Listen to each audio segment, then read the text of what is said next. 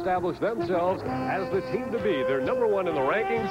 They conquered Hobart earlier this year, and they'll have the home field advantage today. Under mostly blue skies, very warm and somewhat humid conditions, Selby Field in Delaware, Ohio, the home of Ohio Wesleyan University, is the site of the 1988 Division III National Lacrosse Championship game of the NCAA. It matches the Statesmen of Hobart, who are 13 and 4, and the Battling Bishops of Ohio Wesleyan, winners of 14 in a row. They are 15 and 1. And hi again, everybody. Dave Cohen along with Dale Drypolcher. And this one simply boils down to two of the most basic ingredients in all of sports. It is offense against defense. You're absolutely right. Uh, Hobart scoring about 16 goals a game scoring. On the other hand, the battling Bishops are allowing only 4.5. They use basically zone defense. That's a phenomenal average, 4.5 goals. So you're right. It's a classic matchup, offense against defense, and somebody's got to win. Lacrosse is a game where the coaches have not really taken the game away from the players. They usually let them do what they can do best. But the zone defense of Ohio Wesleyan certainly has produced problems in the past for Hobart College. And today we asked Mike Pressler, the coach of Ohio Wesleyan, about the number one concern he has going into this game against Hobart.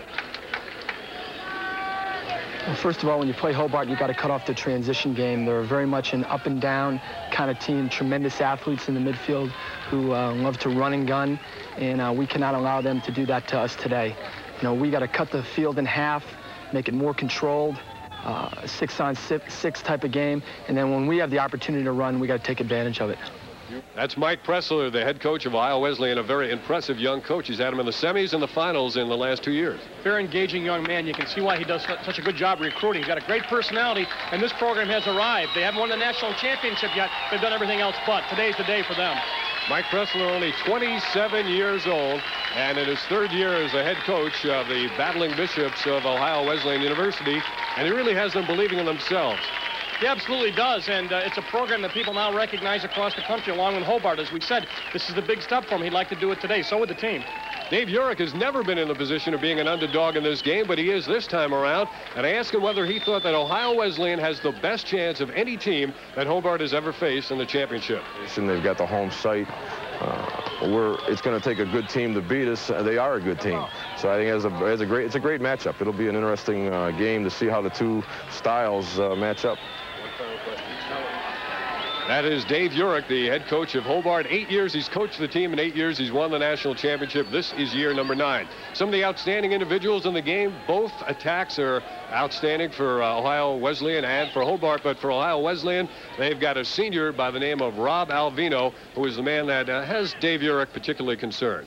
Well, he's the leading goal getter and assist getter for Ohio Wesleyan. He's the kind of guy, he's got a lot of points, but he's the leader out there. He's the quarterback. So Hobart's really going to have to go after him, shut him down. If they can shut him down defensively, then they should maybe establish their offense and help them get into the kind of game they like to play. There is a difference in the goal scoring between the two teams. Uh, Hobart gets most of their goals from the attack, whereas Ohio Wesleyan balances it out. Their midfielders, certainly they've got some excellent ones in Blanchard and uh, Boucher, are uh, very effective. Absolutely, they're very, very strong there. And Hobart with uh, with Tom Gravani on the attack. The, the attack, the whole attack for Hobart averages uh, about 200 goals as a unit. So they get a lot of goals, a lot of points, I should say. So the, they're kind of attack oriented, but Gravani is the guy that that zone defense is going to have to go after. And we're going to look at uh, Tom Gravani. He likes to score often from behind the net and work one-on-one, -on -one, and here he is in action. One of the things about Gravani in the zone defense is that he's going to have to be patient, as the whole Hobart team is. It's one of the things that Dave Urick said they worked on. It always throws them a curveball, but they want to be patient and get their offense going. They like to run, but the tempo would like to be controlled by Ohio Wesleyan. The goalies, Jim Schwartz for Ohio Wesleyan, 6'4", 240 pounds, and for Hobart, a native of Columbus, Ohio, Sean Trell. So those are just some of the names that you'll be hearing as we bring you the Division III Lacrosse Championship game.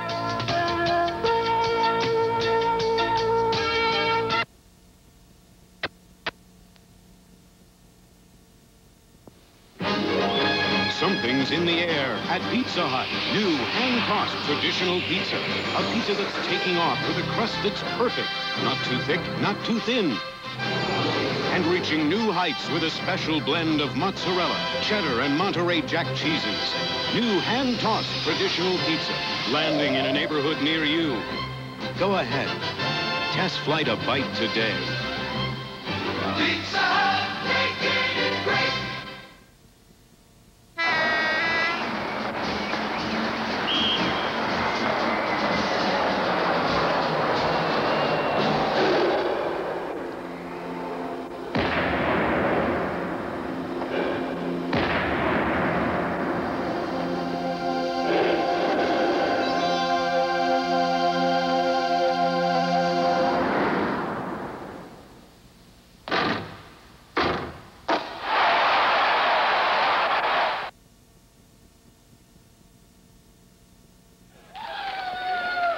Back at Selby Field in Delaware, Ohio, the home team, Ohio Wesleyan, is dressed in their white jerseys, black shorts, red numerals, and red trim. There they are walking to their bench.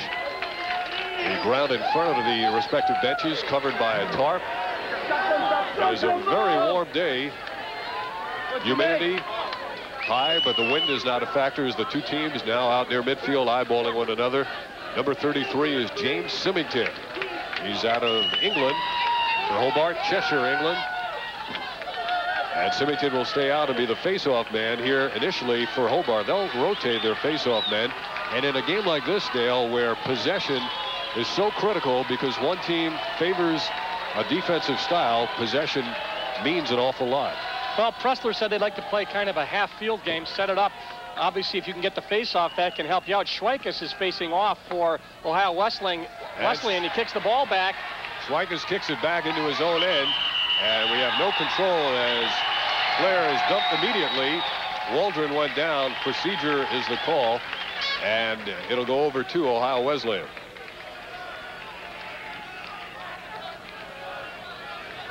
They're going to change here. Somebody, I believe, stepped out of the box over the restraining line, and that gives the ball to Ohio Wesleyan. And here come the battling Bishops. They lose the ball on their own end. Tom Gravani picks it up now for Hobart. Gravani leading the transition game, and we'll see if Hobart takes their time and tries to come up with a good shot. On the exchange with Scott Braden, senior out of La Canada, California. Braden holding the ball now. Giving it up to Symington at the top of the box. He'll go to Drury, number nine. This is Kurt Drury out of Peterborough, Ontario. Now Drury sends back to Gravani.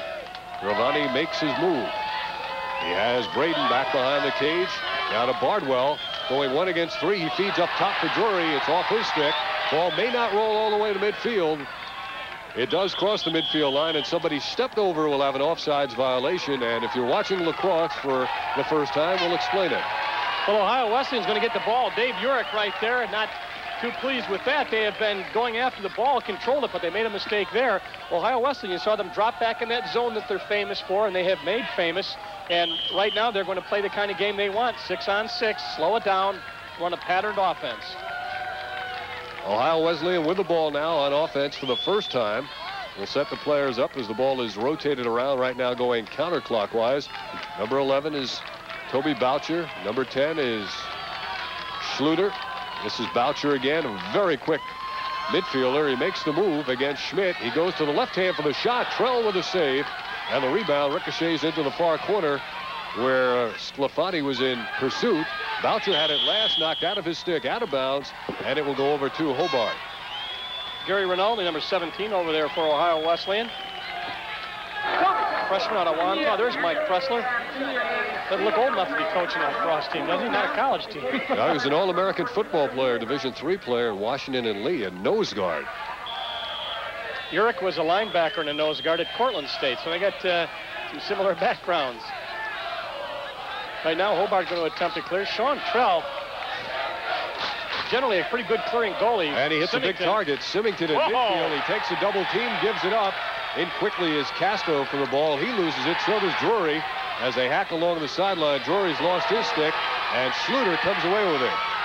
But he loses it to Bardwell. He rushes through the defense, comes in for a shot, and a save by Schwartz. The rebound not handled by Gravani. They hack away at it. Gravani comes up with it again. They feed the crease and another save against Braden by Jim Schwartz. Two hot saves by Jim Schwartz, and a flag is down. Absolutely. Braden took a nice left-handed shot, and he was really one-on-one. -on -one. Schwartz came up with a good save. This goalie is 6'4", 240. I questioned the speed a little bit. I have not seen him play, but Coach Pressler said he's got very, very quick hands, and watch the stick go down. There it is, right there, and he even controls the rebound. Nice job, but Hobart is now man up. And Bill Miller, the outstanding freshman, who recently set an NCAA record for assists in a playoff game is on. He's number three. Braden feeding it to Miller. Miller feeds a crease for the assist to Tom Gravani. So just as we speak of Miller's prowess in setting up his teammates, he feeds Tom Gravani, and it is one to nothing Hobart. Very pretty. Just a classic man up. Try to get him shifting. hit the open man when they shift. And boy, you talk about being open. Gravani right there on the crease. And of course, Schwartz did not have a chance for that. Hobart up 1 nothing. And Tom Gravani comes up with the goal. For Gravani, his 61st goal of the year. He's got 82 points. Miller, the leading assist man, picks up number 43.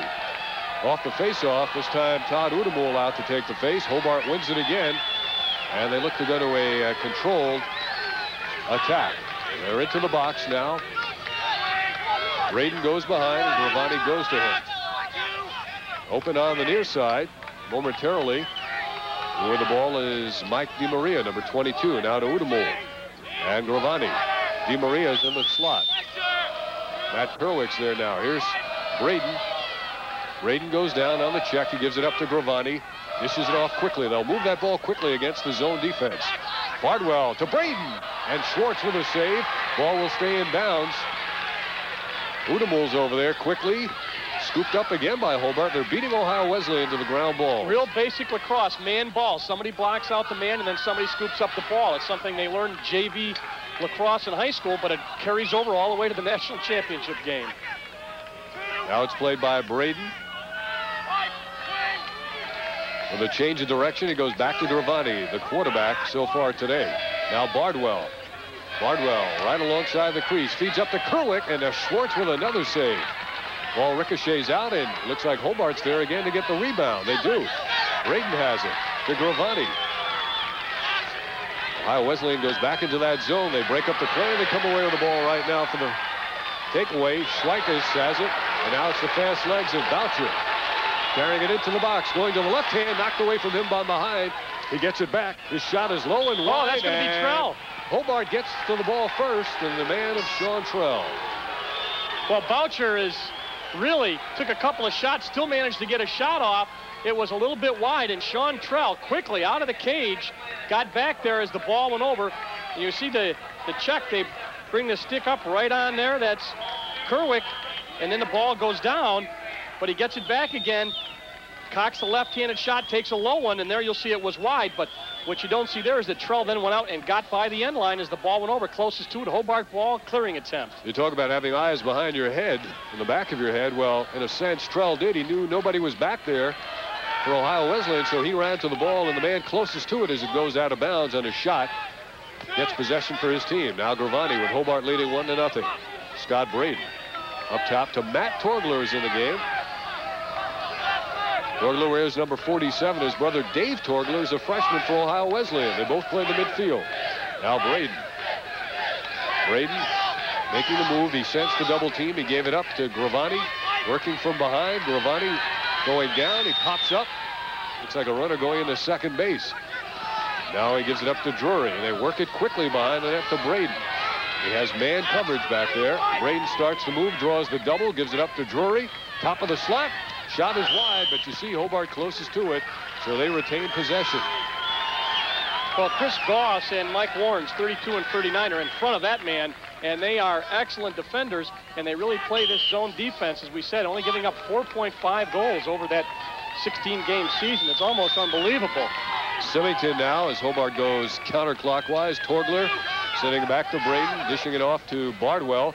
He'll start his move. You see, they take away the one-on-one -on -one move from behind with his zone defense. Yeah, and they get some help. They, they really do. They slide. They even double team out of this zone. You see right there, they slid, but now they'll just drop back into their zone. It is by no means a passive zone. Here's a low shot way wide off the stick of Braden, but it is a shot, not a pass, and by virtue of being closest to it, Hobart retains possession. We're in the first quarter, 9.32 to play. Hobart leads it 1-0 on the goal by Tom Gravani. Drury inbounds it to Bardwell. Now Gravani again. Defense doesn't really come out and challenge him behind the cage. He'll pick him up as they come close to the goal line. Lots of time that forces you to take a real Here's wide out move. shot. He got by the Yes. defense and he scores. Super one-on-one move by Jim Bardwell. The senior out of Tully, New York, has just picked up his 27th goal of the year. He's got 25 assists as well, and Hobart has jumped to a 2 to nothing lead on Ohio Wesleyan. Just as I was saying that you really forces your outside to take a wider outside shot, Bardwell penetrates And the slide came. They tried to give him some help. They tried to give Schwartz some help. But Bardwell, the senior from Tully, New York, put it by for a two-goal lead. Now allow the face-off with Hobart, winners of the last eight NCAA championships. Out to a quick 2-0 lead. Udamula the face-off against Schweikes. Ball comes out, pops into midair.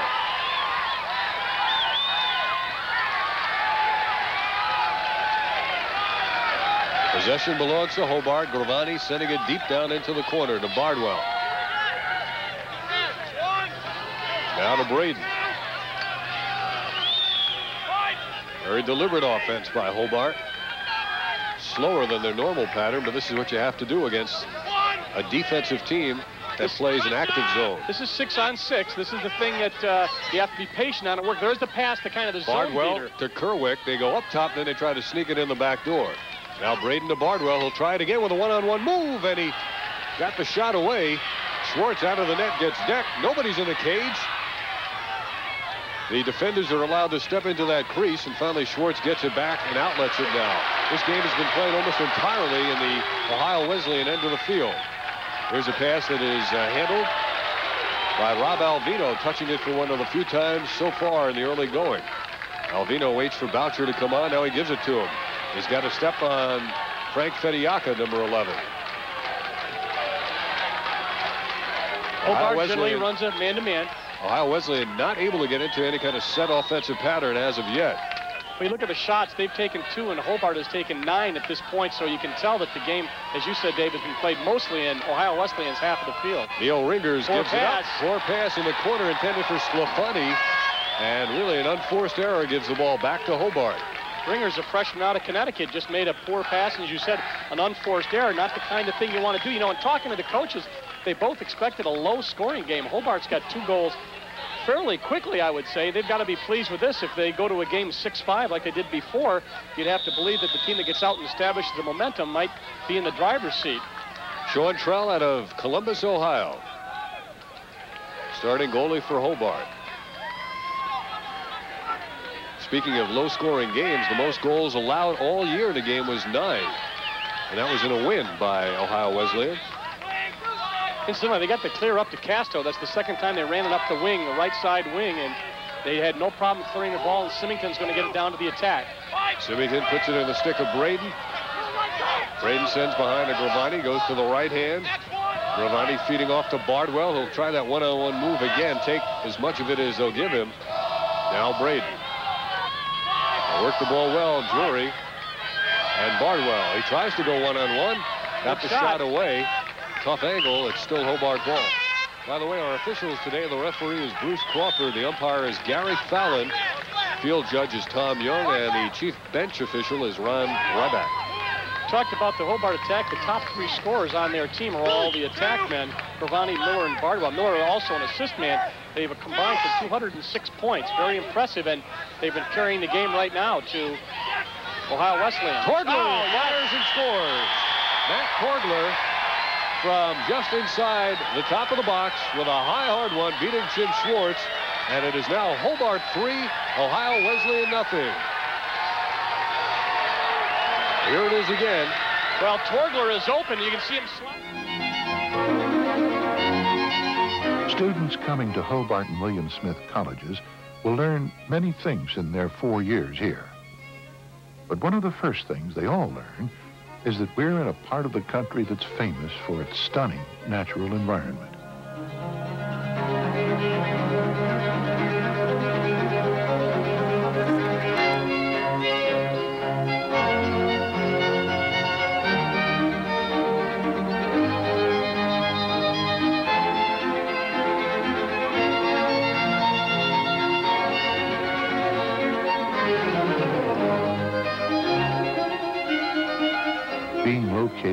Exceptional setting doesn't make a college great, of course.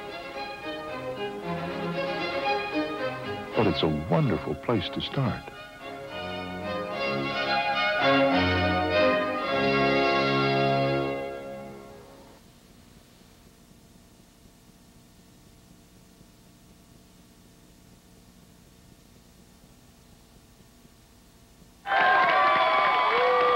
Surprising start here at Selby Field in Delaware, Ohio. The Hobart Statesmen have jumped to a 3 to nothing lead by dominating the offensive action. And if you're going to, we said, if you're going to talk about a low-scoring game and you've got three already with 6.37 left in the first quarter, then that might go out the window, or you might see the Ohio Wesleyan team settle down after that timeout. And it is Hobart coming away with the ball again after the face-off. Cosgrove up with a big stick, but they lose it, at least momentarily. And now it is finally taken down by Alvino. He's forced to give up the ball in a hurry to Schweikes, who can't play it off the natural grass field. Cleanly, he's back into his own end of the field, and Hobart's going to come away with it. Gravani. Hobart looks to transition. Now, they're really hustling on the ground balls, Dave, and they've really picked up some key ones, and that one was a key one. Shut off the opportunity for Ohio Wesleyan and sets their offense up. Not the transition game now. Settle down six on six. Terry Mulherin is on for Hobart. He did not see action earlier this year. One of the newer names, Bill Miller, the freshman. Up in the slot. Here's a score. A high pass. It was pulled down by Matt Kerwick. And in coming down from reaching up for the pass, he decided to shoot. And he has beaten Jim Schwartz for the fourth goal by Hobart in this first quarter. There's the pass. They're really letting him penetrate and get the shot off. You see right there, the ball was down and not able to get it. Schwartz not able to get down there in time, and that's 4 nothing now as Kerwick picks up his first goal, a sophomore out of Rochester. And only his third goal of the year. 4 to nothing Hobart leading and shocking Ohio Wesleyan. Hobart with another new faceoff man in there this time was Jacques Monty. And this time Boucher overruns the ball twice, loses it. Hobart gets it back, and Cosgrove with a big stick redirects it to Sean Trell as goalie.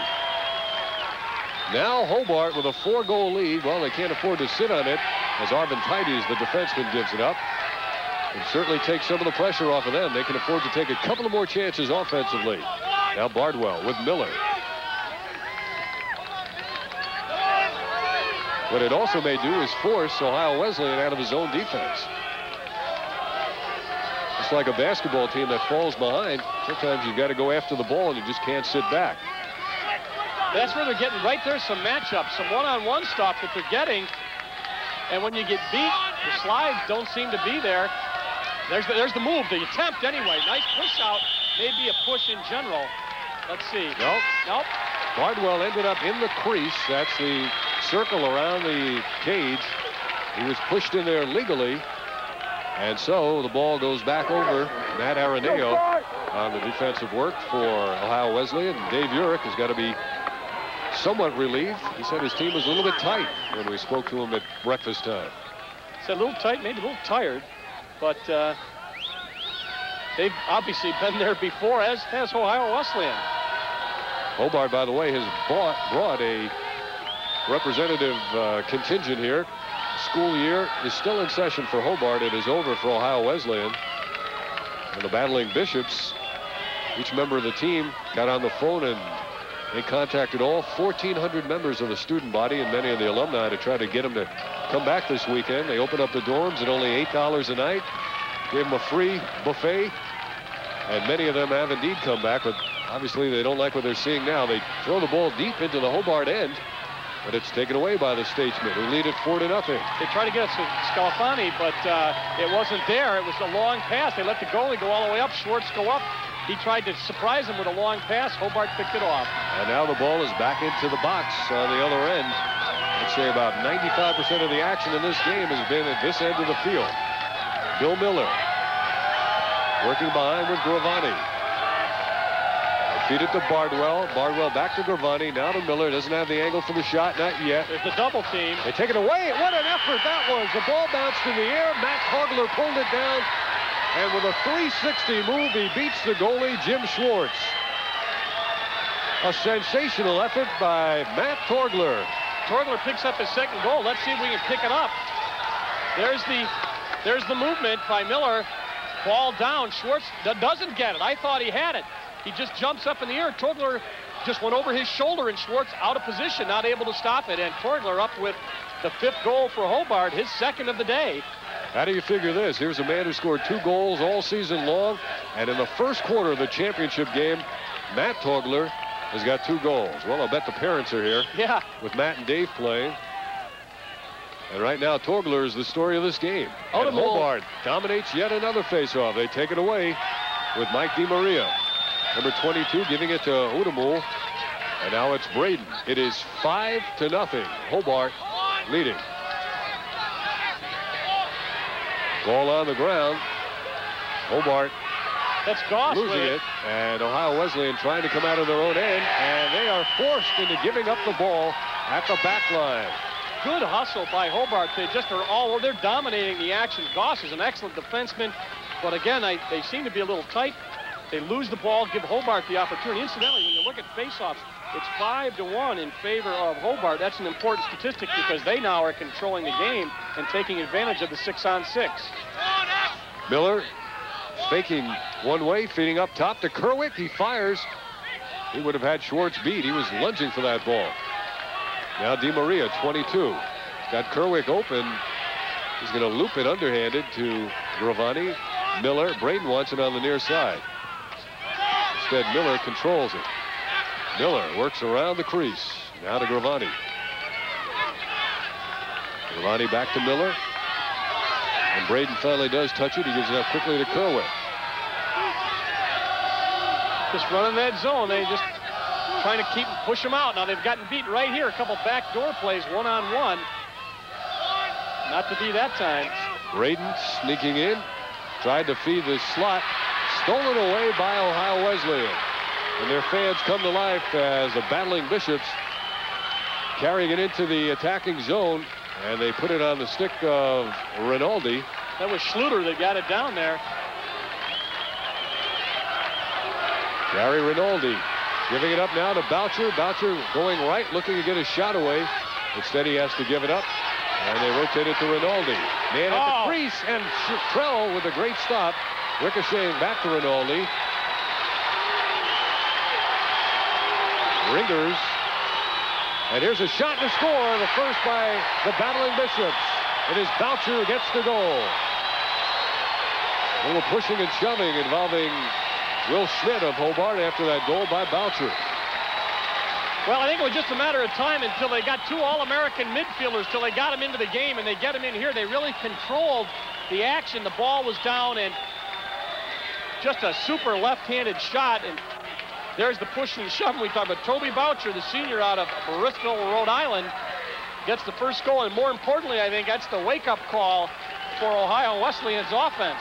But of course, right here, it's very important. The face-off, very important because it has been dominated at this point by that man, And it is. Symington who wins it again. He carries it in. He feeds the crease, and oh. Miller answers back. Seconds after the initial goal by Ohio Wesleyan, Symington did it all, and he set up little Bill Miller. And it is six to one Hobart. Two goals in nine seconds. Well, we talk about face-off and momentum. Symington, they, Ohio Wesleyan's all excited. They lose the face-off. Symington sprints down. They leave somebody open on the crease, and little Miller, Billy Miller, the freshman out of Philadelphia, gets the sixth goal now for Hobart Statesmen, and more importantly, I think took a little bit of the momentum away from Ohio Wesleyan. Hey, just as you were talking about establishing momentum, Hobart took it right away. And Hobart's going to get to this ground ball again. It's Matt Torgler. Torgler feeding it down to Bardwell. They may catch him in transition. Miller holds it. Miller feeds up top. Torgler's going to slow it down now as Symington goes right and Drury left. This time Braden goes into the slot. Miller and Gravani work from behind. Miller. Outside now to Drury.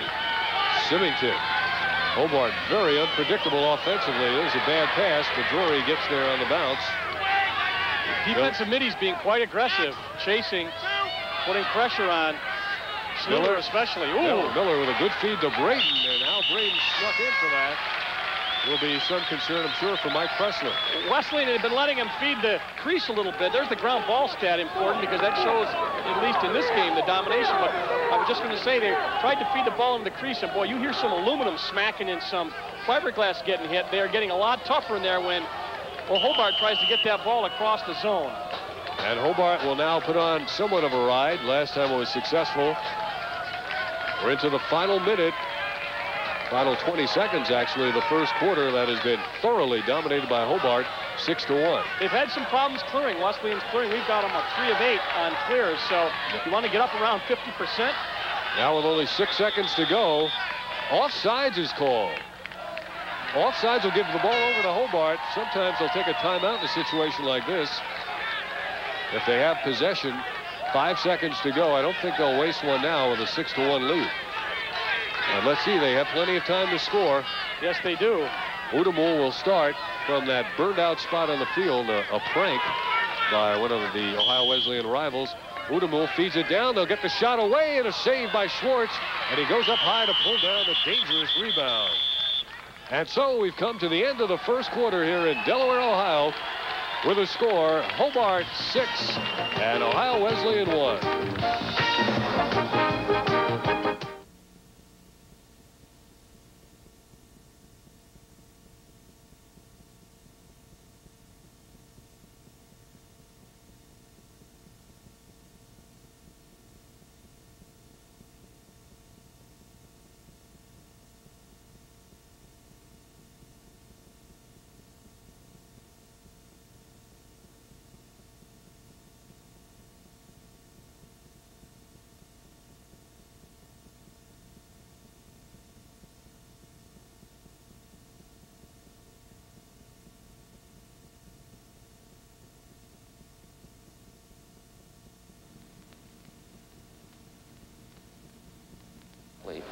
Sometimes I feel that way.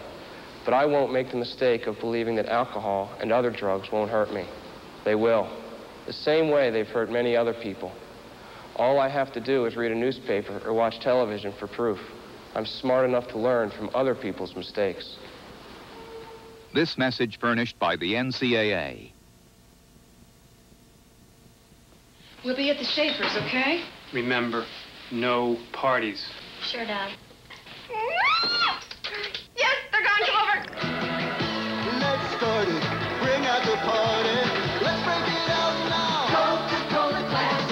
Can't believe they went home.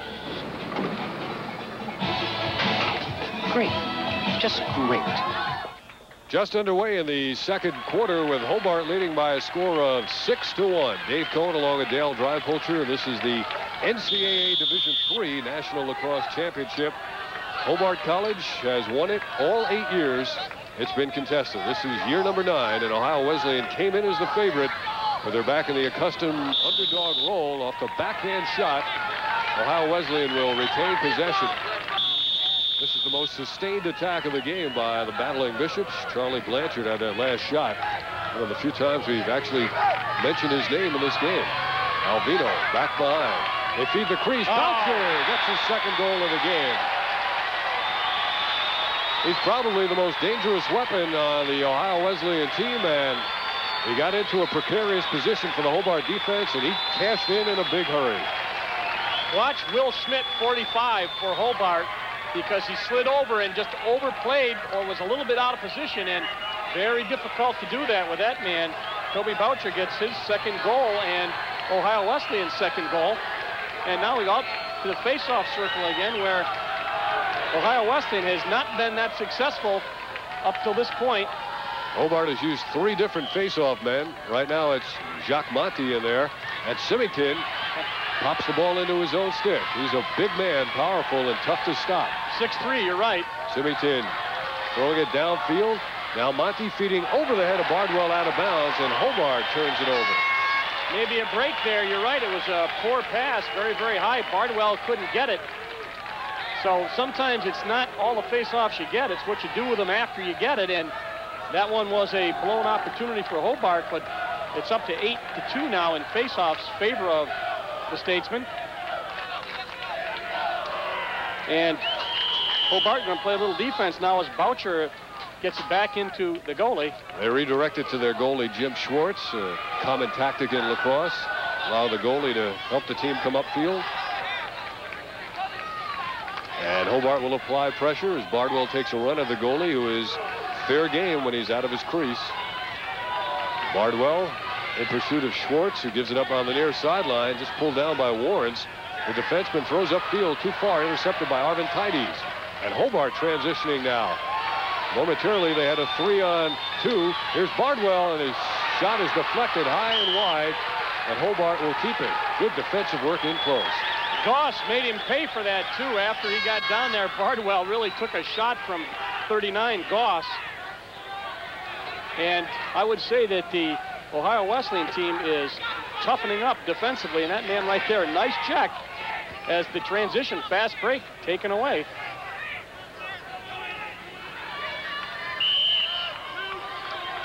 Hobart back with the ball again, and Gravani giving it up to Drury. If Hobart is doing one thing differently today, they are not holding on to the ball as individuals. Yeah, you can't really do that. Passing it quickly. And one thing that I think Ohio Wesleyan is doing, Dave, is they've moved that zone out a little bit. They are picking people up a little farther out and not letting Hobart penetrate like they did in the first quarter. Gravani drew the double, gave it up.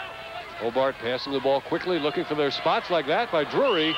He had the opportunity, and it was just high, about a half a foot over the top of the crossbar. By bringing that zone out, they hope to make those shots go a little bit farther out. And however, Hobart controlling the possession aspect, Miller's going to bring it in from behind. 12 minutes Warren's to go in this first half. Miller had it Nice chipped away pick from by him. Warrens.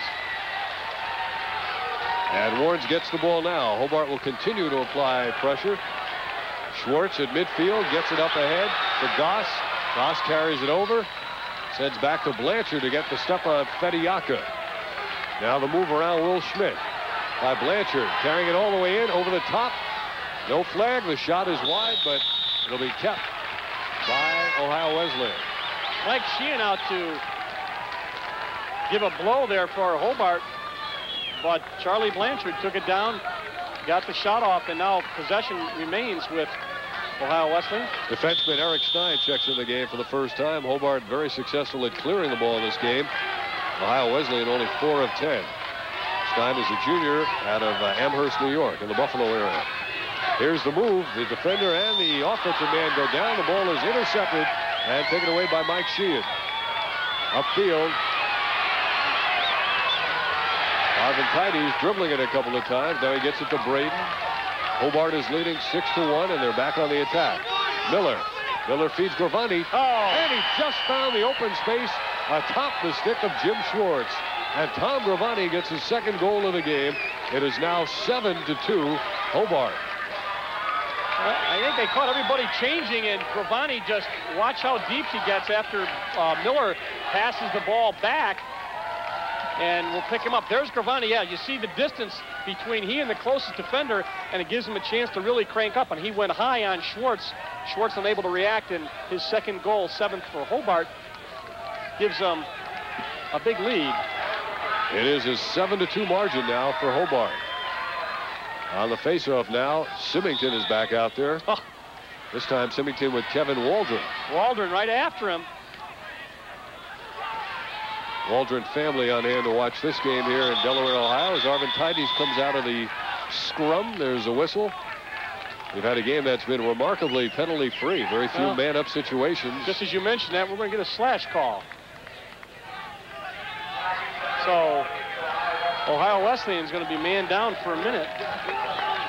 Hobart's second opportunity for man up. They're one of, well, they're one of one now. We'll see what they do on this one.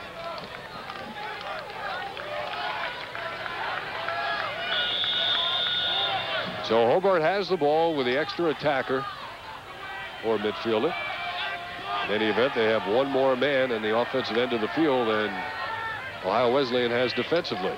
And they'll take their time, try to draw a jump, and then try to beat the ball across like they hit, tried to hit Gravani, but a nice slide by Ohio Wesleyan. Kim Hall. Come on now, let's go. And really, on a man-up situation or the equivalent of a power play against a team that plays a zone, it's not too much different than what you try to do offensively the rest of the time. Move the ball quickly and spot the open man. I said Hall. I should have said Waldron on that as he slid over, and that will give the ball to Wesleyan. Boucher behind his own cage. They're going to ride against him, and so Schwartz cheaps it out of there, but it's oh. intercepted. Intercepted by Hobart. Quickly, they transition to offense. Remember, they still have the man advantage. That, as I say, it didn't hurt him there. Just got it up. I thought they might have a fast break. But Drury is coming on the field. Nobody picked up Drury as he was coming on, but we've got a timeout called, I believe, by Hobart.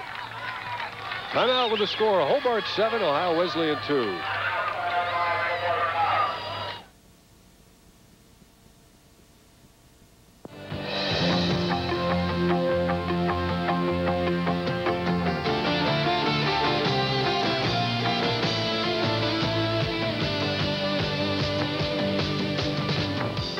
You come to Ohio Wesleyan? They're small, but they don't think small. There's an excellent student-teacher ratio. I think the liberal arts make sense. The university is outstanding in the arts. Uh, Wesleyan, I think that there's great opportunities in sports. You make friends here, both kids and teachers. They emphasize not just our careers, but how we can help the world. There are 1,800 reasons to seek your future at Ohio Wesleyan.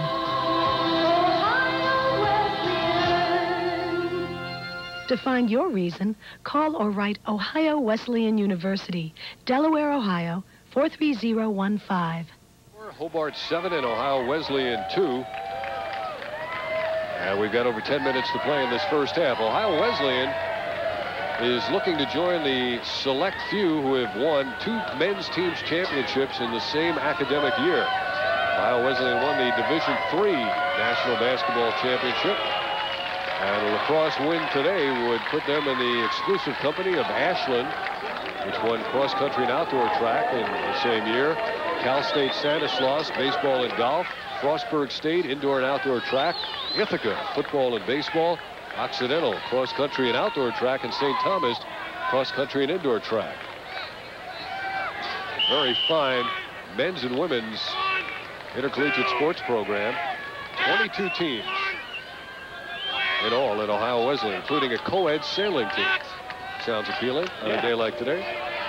Ball pops out of the box. Bardwell is there to pull it down or make a Drury. He feeds Gravani. Spot where he scored from last time. He's there again. They take a jump at him. Here's the shot to score.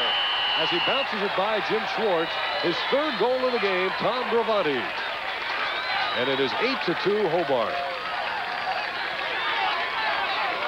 Well, they were just even as this transpired. He beat Waldron right there and took a shot. You know, now that is that's tough to stop. But see, that's the thing Schwartz is going to have to. He's going to have to make a spectacular stop to pick those guys up and say we can shut these guys off. Gravani is really kind of having his way with them down there. I was wondering too, Dale, whether uh, Ohio Wesleyan changed things up defensively. There seemed to be more movement. Maybe it was a result of the offensive man trying to penetrate against the zone. Nevertheless, Hobart wins yet another faceoff. Udamul gets it to Gravani. Gravani a nice feed back to Udamul. He's got Kerwick ahead of him. Kerwick gives it up behind, disdaining the shot. He gave it to Miller. Miller, the master feeder to Braden. His shot is wide. Hobart's going to keep. They've been able to get the ball behind and then feed it or try that back door move. Didn't go there, but possession retained by Hobart. And as you said, Dave, if they kept a time of possession, which they don't in lacrosse, it would have to be domination city for Hobart at this point in terms of time of possession. It's got to be at least 80%. Simington has it now. Drury down to Gravani. Behind he goes to Miller. Miller did not start, but seeing more and more playing time. Gravani ducks in, ducks out. Now here's Miller. They're still in that zone, very definitely. And it's intercepted on the pass intended for Drury, but Drury's there to get it back. Just picked that one right off the ground. Superior stick skills exhibited on ground balls in this game by Hobart. Ian Smith knocked the ball down, but he couldn't get it. Hobart, as you set up with another ground ball, and they are moving the ball well and spreading themselves out at this point a little bit. Gravani had operating room as he came even with the cage. Gets it again. Now gives it off to Braden. Braden crossfield to Symington. Look how quickly Hobart is moving that ball. Well, you could hear them say, keep moving it. The kids on the sideline are saying, keep moving it. That's the way you have to do it. You can't sit around and hold it. You got to move it. Gravani looking for somebody to pass, dish it off to. Because in the zone, if you can pass faster than they can move and get them going in the wrong direction, that's to your advantage, obviously. They kind of spread things out. Now they got Symington on the crease, moving back and forth. 6'3 is a big target. Gravani open to the near side. They go up top to Torgler. He spots Gravani. Gravani back behind. The Miller feeds the far side to Braden. Braden keeps it alive. He lost the ball. Torgler got over with a big check. And the ball goes out of bounds, and Torgler is going to keep it in Hobart's possession. He just dumped Steve Schluter. Schluter's brother, Phil Schluter, plays at Syracuse, and I wonder if the Schluter family is trying for the daily double on this weekend. That's right. Mike Pressler told me that Schluter, excellent defensive midi. The defense has had their problems, only giving up 4.5 during the year. It's seven at this point. Now Symington and Drury. This domination is just remarkable by Hobart in terms of time of possession. Now they're taking their time now. I mean, they've got time on their side. They're going to take the good shot. There's Drury got right the there. pass from Braden. Boy, Braden really threaded the needle, or maybe it was Miller who did. And Hobart is just passing the ball very, very well against this zone defense. And of course, when the ball goes behind, they don't often have anybody back there. Ohio Wesleyan doesn't from the zone, so Hobart's got somebody to back up all the time. Seven minutes to go in this first half. Jim Bardwell makes the move, spins, he's picked up, deals it off to Torgler, whips it to Drury. Drury gets the step. They took the ball away from him from behind, but it's down on the ground, and Hobart's been winning these ground balls.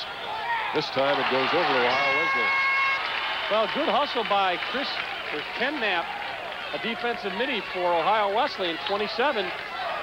And then the ball was down. Hobart not up with it as it went out of bounds. Kurt Drury, number nine, was there, but it was off of a Hobart stick, and Ohio Wesleyan will have to clear. They have not had a lot of luck clearing. Four out of 11. So that's the kind of thing that uh, shows you the kind of defense that Hobart is playing, is they're going right after Schwartz, too. They can afford to take a couple of chances now. Alvino, and how seldom have we mentioned his name in the game? Alvino has it, but he's certainly not in scoring position as he goes by Torgler. Crosses the midfield stripe, looking to give it up, and he does. To Hannon. Dan Hannon, 5'11", 205 pounder from Levittown Division High School. Boucher has got both of the goals. The crowd coming to life, trying to get Ohio Wesleyan back in this game. Winners of 14 in a row. Rinaldi making the move, but he's played tightly by the defense. They double team the ball. Now Blanchard starts, spins, Oh, nice shoots move. wide, but it'll be kept by Ohio Wesleyan as Hannon was back there. Good backup. That was a nice move. They got to get some more shots off on Trell. They got to test them. They've only got 10 up until this point. 22 for Hobart. Better than 2 to 1 shot advantage for the Statesmen. And you can't score unless you get the shots off, obviously. And they're going to try to work on that. They have gotten better this quarter. Alvino's going to bring it in. He's guarded by Arvin Tides. He feeds the crease right away. Ball down. Trell save. Hannon got the pass. He shot from behind the screen, but as he came free, Trell was able to eyeball him all the way. Di Maria goes up high to pull it down. Di Maria to Bardwell. He's going to be hit from behind. Good defensive work. Waldron. Oh, nice defensive work by Gravani. And Hobart will take it back. Turnabout is fair play. knocked it out of Dempsey's stick. I was just going to say Waldron did a good job. They hung the stick, and then right then Dempsey turned around and hung his stick, and Gravani knocked it out off the stick of Ohio Wesleyan.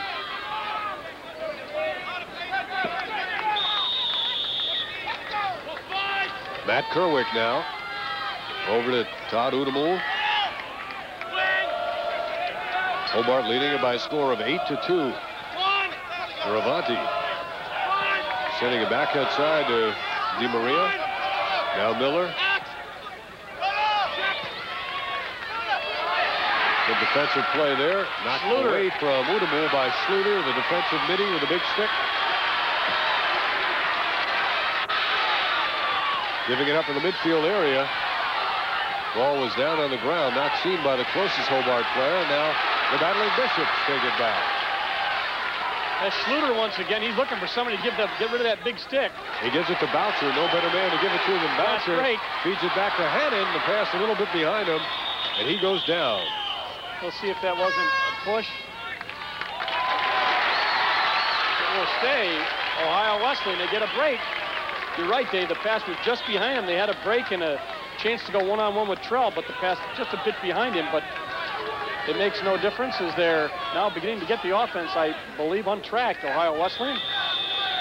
It has cooled off somewhat here in Delaware, Ohio. The clouds obscuring the sun. Earlier on, I thought Dave Urick substituted more freely than he has in most games this year early in the contest. Blanchard makes the move. He likes to go to his left. He loops it over the head of the intended man and out of bounds. Intended there for Sclafani. And that is a costly loss of possession by Ohio Wesleyan. Yes, you're right. It is loss of possession when, as you said, if it's unforced, and that was just a poor one-handed pass, it didn't get there. Especially when you're having problems offensively, you want to take advantage of every chance you can get. Hopefully you can get some momentum, but right now it's going to be Hobart attempting to clear again. Gravani has three goals. One clear. Torgler has two. Bardwell, Kerwick, Miller have scored the other goals for Hobart. It is 8 to 2. We're down to 4 minutes and 15 seconds to go in the first half. Symington lost the ball. And we had a whistle in the vicinity, an offsides call. Hobart was offside. It appeared that they, uh, Casto, Chip Casto was not where he should be, and offsides called against the Statesmen. But they're going to have to clear it. Ohio Wesleyan and now uh, Toby Boucher is going to get the ball. They are going to go all over him. Schwartz up to help him out. Schwartz at the midfield line, gets it to Goss, the defenseman. Nearly a poor pass there. It's taken down, and Ringers has it down. Number 25, Neil Ringers. Out of Bridgefield, Connecticut. Boucher, who has the two goals for Ohio Wesleyan. Hobart out shooting Ohio Wesleyan by a two to one count. Here's Alvino working in close.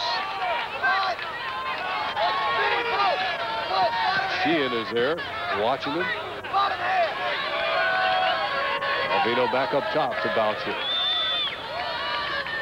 Two years ago, they were in the semifinals. Last year, they were in the championship game. This year, they're back in the championship game, but anything short of a win will be disappointing for Ohio Wesleyan. Boucher digging for it on the ground. It's still there. And as Hobart came out of there with the ball, the player was decked. Virtual was decked, but the call goes against the Statesmen.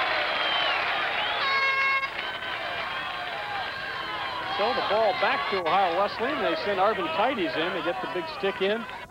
Send him down to pick up Rob Alvino. Three minutes, 15 seconds to go.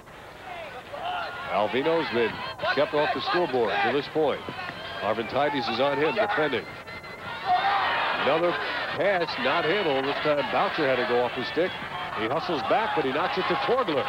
Now here's a transition break. Gravani coming in one-on-one. He scores. Tom Gravani with his fourth goal. And credit the hustle of Hobart picking that loose ball off the ground at midfield. And Gravani makes it a 9-2 game.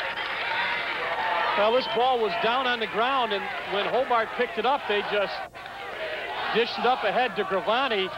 And as you said, Schwartz one-on-one. And look, see, Schwartz started to step down, and that's when Gravani unleashed it high. And you got 36 square feet to defend. Usually you're you're going to lose, and that's exactly what happened there to Schwartz. Schwartz went low to his right, and Gravani went high to the left. The advantage always to the offensive man in that situation. As big as Schwartz is at 6'4", 240, still a lot of room to shoot for. And again, the faceoff won by Hobart. This is Udamul. The nine goals scored by Hobart in this first half equals the most given up by Ohio Wesleyan in an entire game this year. Both coaches said they expected a low-scoring game. Would you say Hobart averages about 17 a game? 16. They can hit double figures in the first half. They've got two and a half minutes to go. Bardwell dealing it Up top of the box, there's another ground ball. Udamul goes down. Ball pops into the stick of Arvin Tides. So they're good and they're lucky. Well, that's, that's a great combination. Bardwell behind to Gravani. They feed the crease. Ball knocked away. It's still going to be in possession of Hobart. Ian Smith checks into the game defensively. So does Torgler, Symington, and Drury. You see him get in position right there.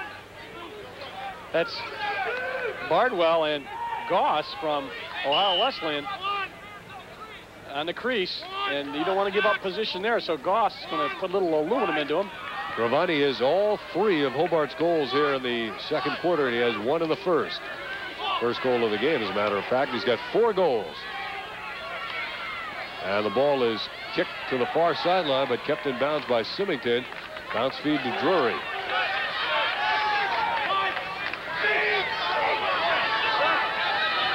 And Miller, and a ground ball, he scores. He threaded the needle between Warnes and Schwartz, and it's double figures for Hobart here in the first half, as they now lead it by a score of 10 to 2 on the goal by Bill Miller, his second of the game. Well, Miller just scoots in between two guys and puts it right between the leg of Schwartz. They really tried to collapse on him, but I'll tell you, Hobart is just playing excellent lacrosse, and Miller, who oftentimes is an assist man, comes up with his second goal. Dale, you've got to go back 31 games for the last time a team scored as many goals against Ohio Wesleyan. It was Washington and Lee in the third game of 1987. They had 12. Frank Fediaka, number 11. Hobart controlling it again with Scott Braden. And a minute and 20 to go in this first half. That has been thoroughly, thoroughly Hobart's game. In this quarter, they've gotten five faceoffs to one for Ohio Wesleyan, and, and in the game, it's at 12 to 2, so that is definitely a factor. Ball down. Miller's going to have room to run it down. It doesn't roll out of bounds with the natural grass field. Both teams used to playing on the turf. Field's in great shape, very fast. I was down there very hard. Not sloppy at all. Nice patch in front of each goalie, too. There you get a look at it. Schwartz standing on the brown patch there, so should get a pretty predictable bounce. Up top, taken down. They feed the crease back. Tremendous ball movement. Kerwick and Schwartz for the save. Good save by Schwartz. Good outlet by Schwartz. Schwartz has made some fine saves. And will we have an offside? Time we get a timeout taken with 25 seconds to play here in the first half. Ohio Wesleyan has the ball, and in that huddle, Mike Pressler will have to try to come up with something to concoct a good last second shot in this first half and see if they can send Ohio Wesleyan to the locker room with a happy thought. Well, you're right. Not only a happy thought, but maybe a little confidence. Seven goals, if they go in at 10-3, is not out of the question. But let's look at the save made by by Schwartz as they Bardwell passes out. Watch the watch it go down. There it is, right there. But impressively, he came up with that and then just threaded the needle to Schluter. They got it into the offensive half where they could call a timeout. And they're going to try to get that one last goal, perhaps in 25 seconds, to give them some momentum. Dave, you know, it does seem like a lot of goals, but you and I have seen them scored in bunches. Oh. Well, this is the first time, of course, that Ohio Wesleyan has played host to an NCAA Division III lacrosse championship. But they have hosted other NCAA championships, 1978 tennis, 1984 men's and women's cross country, 1987 golf. In many sports, you hear about a team out hustling another. In lacrosse, they really have an indication. It's called the ground ball stat. And Hobart has really, they've been the vacuum cleaners today. Also got 25 shots off to 11 so far in this in the first half almost over. So they have dominated in that category also. Here we go with 20 seconds to go. Blanchard to Alvino, and this is the way the game is gone. You're absolutely right. If you had to encapsulate what's happened to Ohio Wesleyan, that was it right there. They have been making some bad passes. Not to see Hobart hasn't been playing good lacrosse, but I don't think Mike Pressler has got to be saying, look, guys, we got to get back to basics. We got to pass and catch. Don't make those mistakes. Hobart's too good to do that with. And obviously with that score, that gives you an idea of what problems they have had. And Trell not really been tested. They've only taken 11 shots at him, not all of them of the quality variety. Final seconds. Oh, he really got crushed. Miller came out, and then Schwartz laid 240 pounds on him. Two seconds to play in this first half. Drury will have time to throw it in. Let's see, will he try something like an alley-oop, toss it in front? The gentleman just screen, and, and, and then they'll jump up in the air if he's going to shot on goal. Let's see what he does. He fires it into a crowd. They score! And they wipe out the oh. goal. They wiped out the oh. goal as Bardwell got the bounce pass, and he got it past Schwartz, but they say no goal. What a screen they did on him. The great They're the favorite. Schweikes will face off against James Symington. Dave Cohen along with Dale Drivepulcher. Underway third quarter. The faceoffs dominated early by Hobart. And the Statesmen come away with this one momentarily, but it dribbles back toward the goal. Sandwich job there on one of the Ohio Wesleyan players, and it is the Battling Bishops who come out with the ball, down by 10 to 2. Charlie Blanchard with it, number 19. Blanchard moving on Torgler. Ringers is in front. Here's the move being made by Rinaldi against Sheehan. He gives it up to Boucher, who has both of the Ohio Wesleyan goals. Torgler leans on him. Boucher gets the shot away. Save made by Sean Trell. And Trell loops it on the outlet over the head of Arvin Tides, but kept inbounds by Gravani right at the pylon. You know, somebody said uh, at halftime that not only was Hobart good, that they were lucky. They were lucky there, too, to come up with that ground ball as Gravani did a tightrope act. Gravani now behind us, Scott Braden. One minute into the third quarter. Araneo is guarding him, number 38. Outside he goes to Symington. And now Drury has it. On the far side, it's Bardwell making the move. Bardwell over the top. No call. Now the delayed flag. That should go against Ohio Wesleyan. 30 It is a hold, which means that having had possession, Hobart will now enjoy an extra man. Defensively, they have gone with the zone. We talked to Mike Pressler before the game, Dave, and he said, we're not going to change what we do best. And they have been true to form, having a little less success with it in this game than they have during the season. Now they work the ball around. Udamul to Braden. We've had only about three extra man opportunities. Drury fanned on the shot, tried to get the rebound, and the battling Bishops are really doing that now, scrapping more in their defensive half of the field. Uh, I was going to say it's another one of those things where the ball, the ball bounced and it went off of a Ohio Wesleyan player, Sclafani, and now Hobart gets it back again. Drury going to bring it in, I believe, on the far side. Yep. Hobart still with the man advantage. This is the third such opportunity of the game.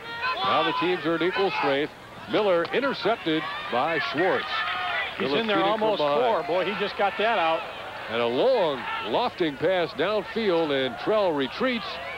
He has it knocked away. It's open, but picked up by Udamul with that yellow basket on his stick into the crease to Trell, and Hobart gets out of harm's way.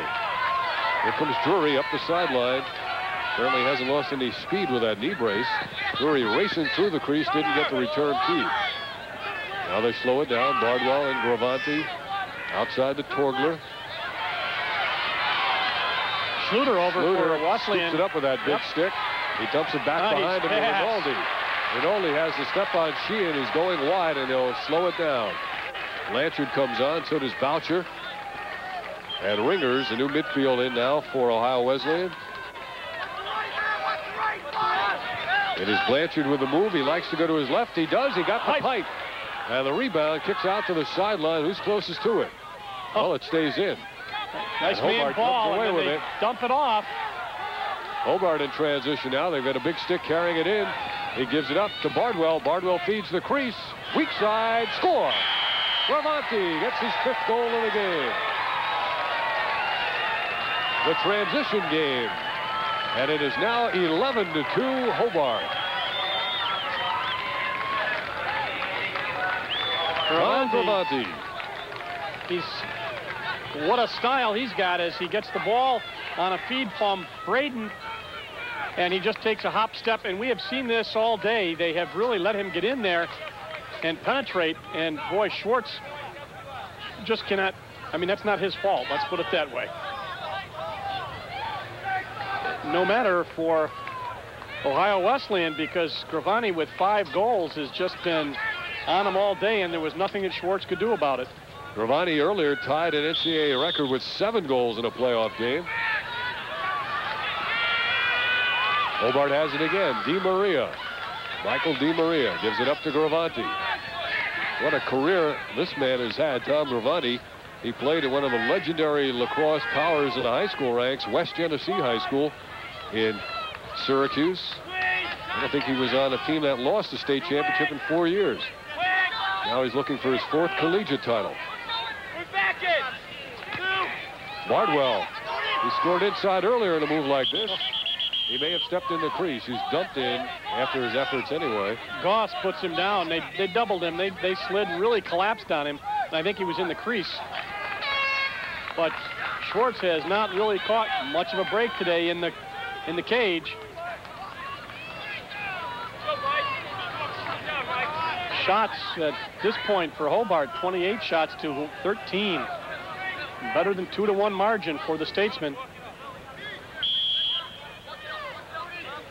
Now, Ohio Wesley with the ball, walk, walking it up slowly. Warnes gets it to Boucher. They'll double on him. Schmidt and company, they took it away once. They get it back. Alvino can't handle it. Alvino goes down. They have had Pops in the air, taken down by Di Maria. He's got players on both wings. Threw it a little bit beyond the reach of Gravani. Alvino having an off game, no doubt about it for him.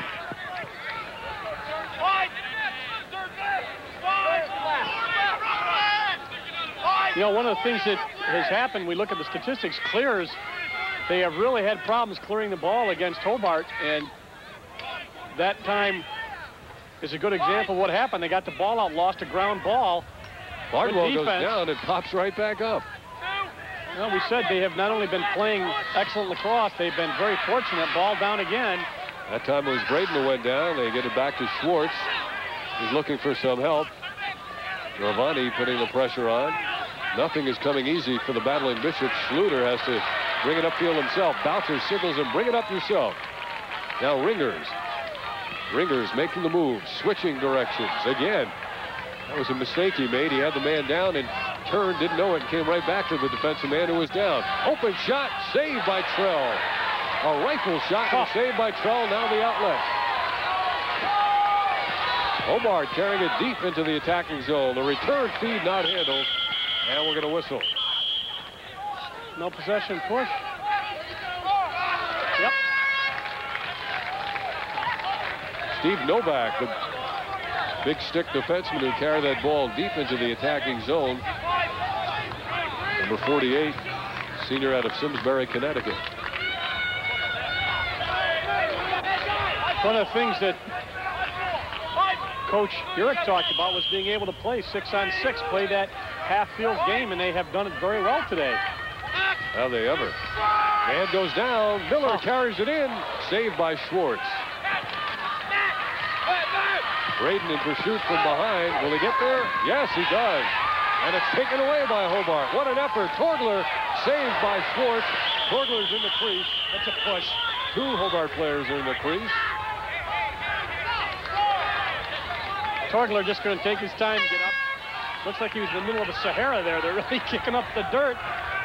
And that'll be a push against Ohio Wesleyan. Dale, that was just a terrific defensive effort to break that play up in the corner, and then they got it to Torgler. Well, they're always looking for the guy that's open. There we see Schwartz getting back. Now the ball's down. You got to get the rebound. Look at the dust.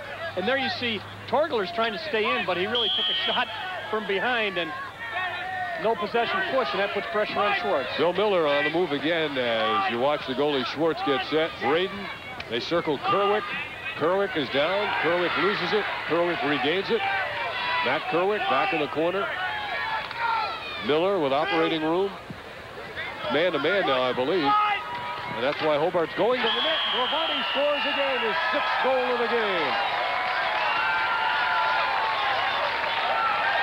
Tom Gravani scores again.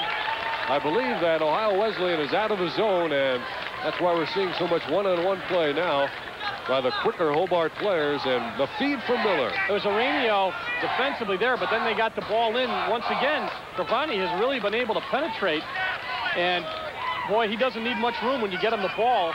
His sixth goal and the 12th for Hobart as they really are beginning to score at will.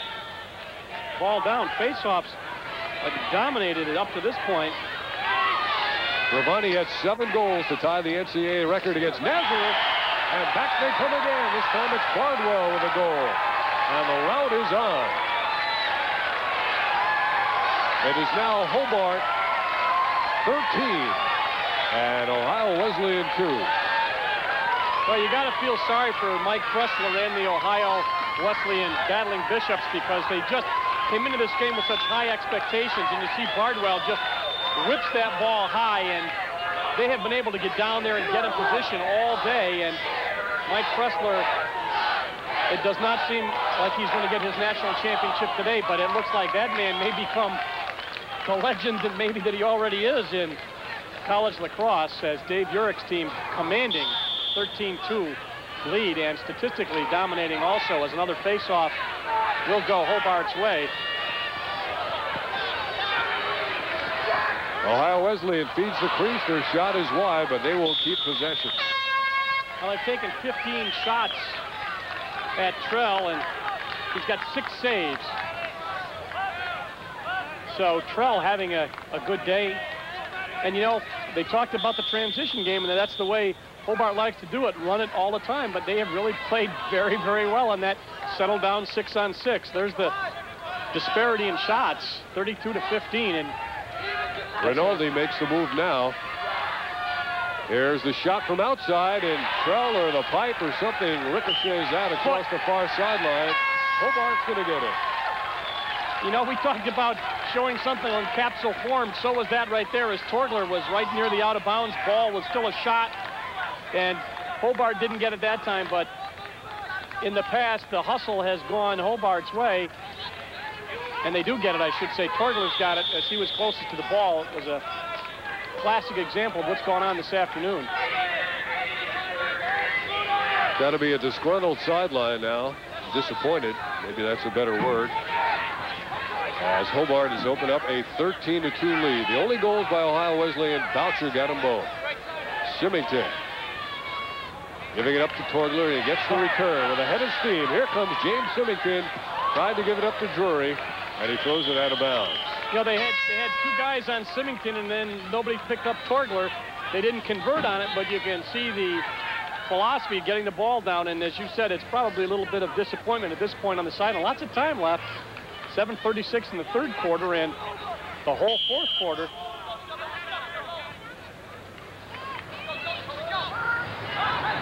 Now loose play in midfield. They send it back to Schwartz.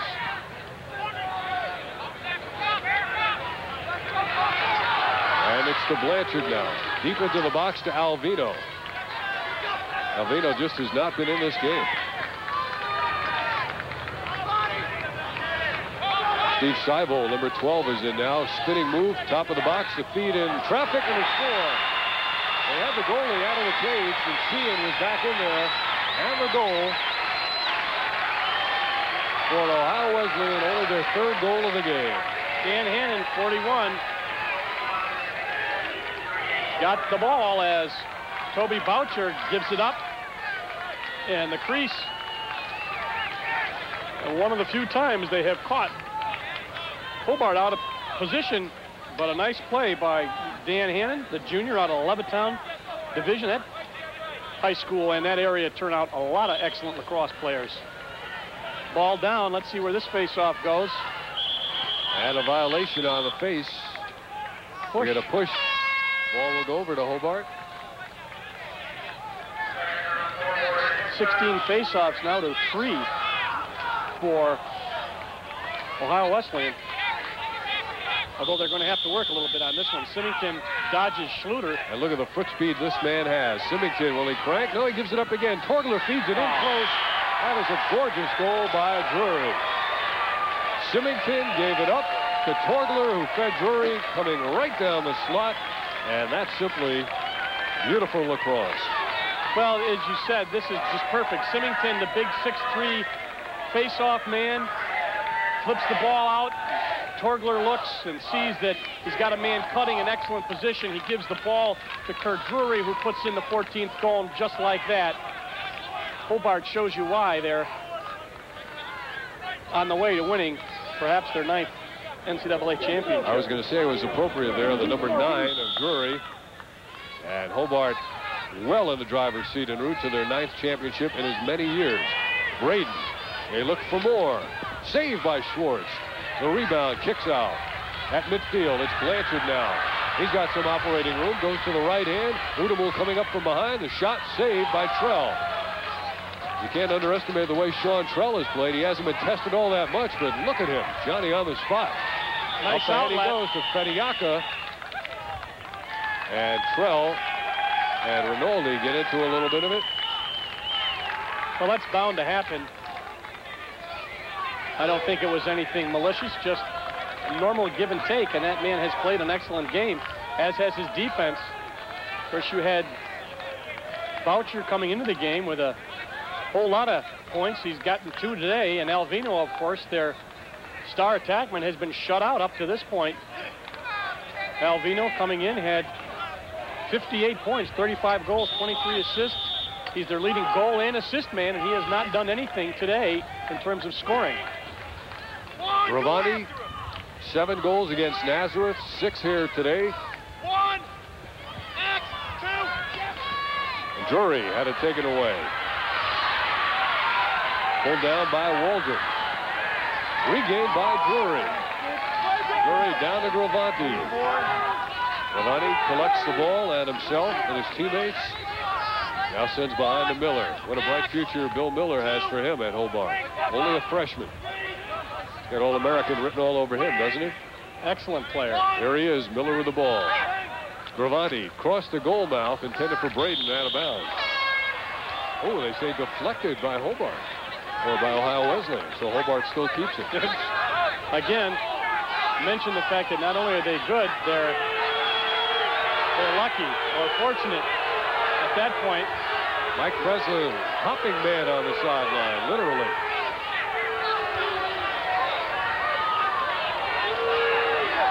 And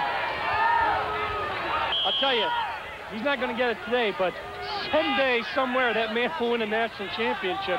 Miller to Drury, Gravani to Miller. Miller back to Drury, fires, it's wide and high. Well, they'll keep it. There he is, Mike Pressler. What a gracious host, and a fine gentleman, and an excellent coach.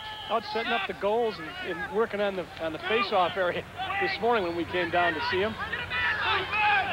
Here's Miller scoring. One-on-one, nobody came to pick him up. And he beats Jim Schwartz to make it now a 15-3 game. Miller has his third goal of the game. He's got a bunch of assists as well. At least three and three. Miller, the the freshman attackman, as we said, the attack from Hobart, very successful, and he just nobody there. He just goes unmolested. There was nobody to pick him up, and that Dave we have seen all day. It started out with Gravani, same thing. Nobody able to pick him up as they come around from the back. A seven-point afternoon to this point for Bill Miller. It's a name we hardly heard at the beginning of the year. 15 to 3.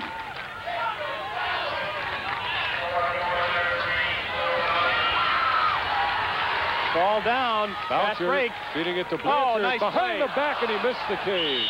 Hannon had an excellent opportunity. Tom Gravani, we're told now, has 17 playoff goals. See, that's not bad. No, in three games. You're right.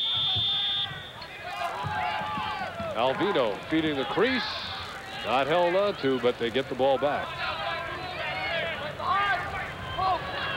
17 playoff goals, far and away a record. Smashing the previous mark of 12. There's a shot that Trell got a stick on. It goes out of bounds. Previous mark of 12 was held by Paul Goldsmith of Roanoke and by Bruce Yancey of Washington College. So they were wiped out of the record book by Tom Gravani, who's up the previous record from 12 to 17. Now Alvino would like to dent the nets one time. Arvin Tidy's nice job. Then he's dropped to the turf. Di Maria up the sideline, gives it up to Gravani. Beautiful pass as he's decked. But it's in the stick of Burchell. Burchell, the defenseman, cranks and scores. Mark Burchell scores, and Hobart now leads it 16 to 3.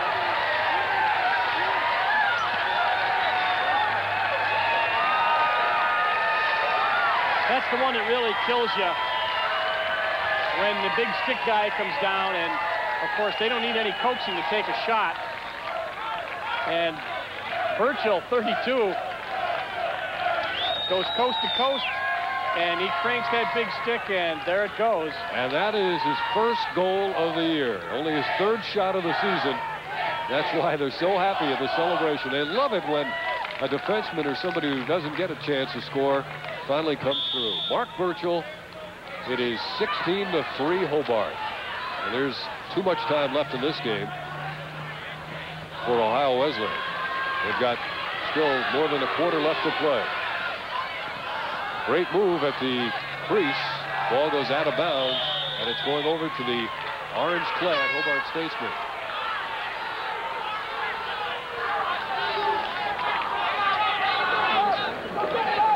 One of the things uh, we talked about, uh, I think Willie Scroggs mentioned, was the fact that the game aside, Ohio Wesleyan's done a great job of putting this on, this whole big Division Three national championship, and we certainly have to congratulate them. They had a perfect day for it in terms of weather, and the conditions are great, and very, very nice people here in Delaware, Ohio. Right now, I'm sure they wish the game was a little bit more like Yeah. their hospitality and the, and the day. It's settled for a little muddy conditions. Right. So the score is a little more even. Right now, it is Hobart 16 and Ohio Wesleyan 3. Three and a half minutes to go in the third quarter. If it isn't already, this is the makings of the most lopsided game in Division Three history. Already, it represents the highest goal scoring total, and it just went up by one.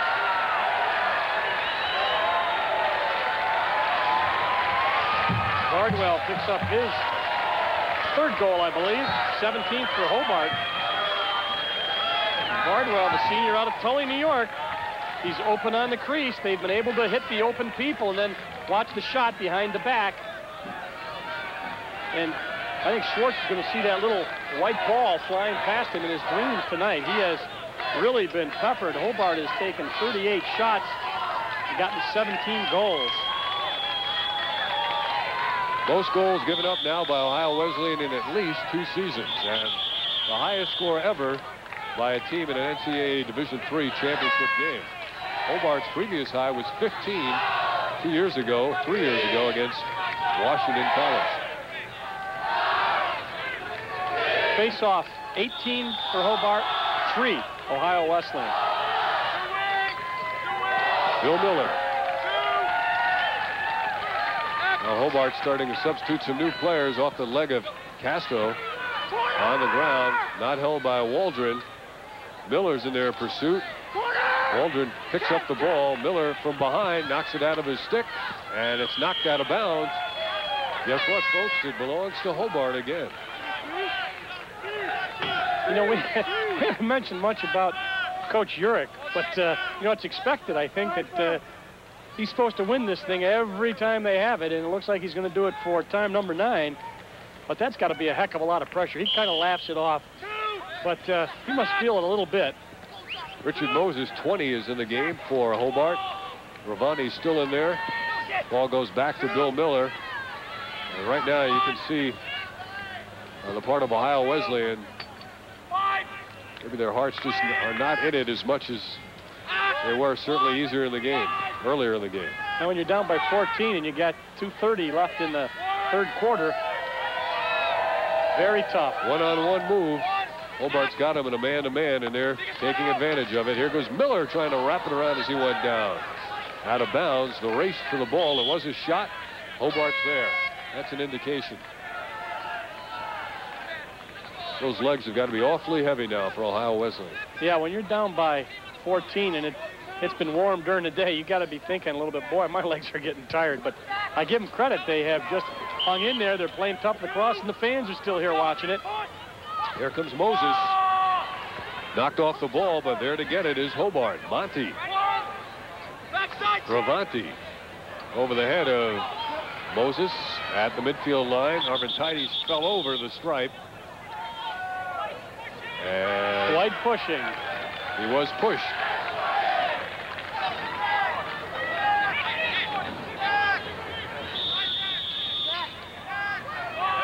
Chip Casto has the ball now for Hobart College. He's a senior from Upper Montclair, New Jersey. Tom Gravani. Six goals already. Miller went one way, Gravani threw it the other. It's out of bounds. Disgusted with himself as Hobart, you know, you can't tell kids let down or anything, and they're not going to. They just go out and do what they can do. And as you said, though, it's got to be awful tough for Ohio Wesleyan to get those legs to keep pumping when you're down by 14, but they're still working at it. Now we've got a minute 40 to go in this third quarter. Hobart led it 6 to 1 at the quarter and 10 to 2 at the half. Now 17 to 3. The thing at that half is when they put that goal in that was disallowed, it was time had run out. It just really took any momentum that uh, Ohio Wesleyan might have gotten right away from them. Boucher to Alvino, back to Boucher. There was really no angle for the return pass, but Boucher just simply hustled to it. He's dumped down the sidelines. And we'll get a call going against Hobart College. Earlier this year, the two teams played right here on this field, and Ohio Wesleyan won that game 6 to 5 in overtime. Get this, Dave. This is going to be the first man-up opportunity for Ohio Wesleyan, and we're almost into the fourth quarter. 109 left in the third quarter. I should mention, too, that the sister college of Hobart, William Smith, playing for the Women's National Lacrosse Championship today as well.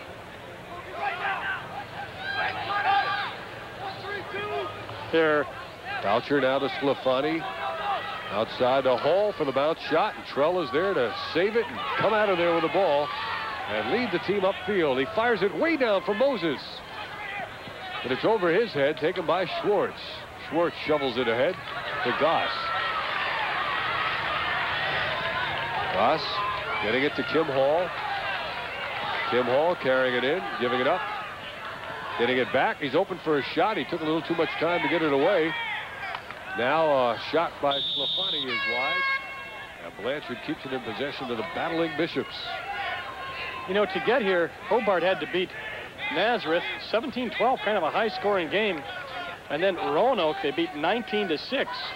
They have been coming on strong and scoring goals in bunches, but who would have thought they would score this many against a team that was giving up less than five goals a game average?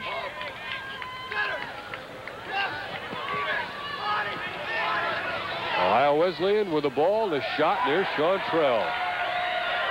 Boucher threw his arms up almost in disgust after that. Hobart transitioning well. Here they come.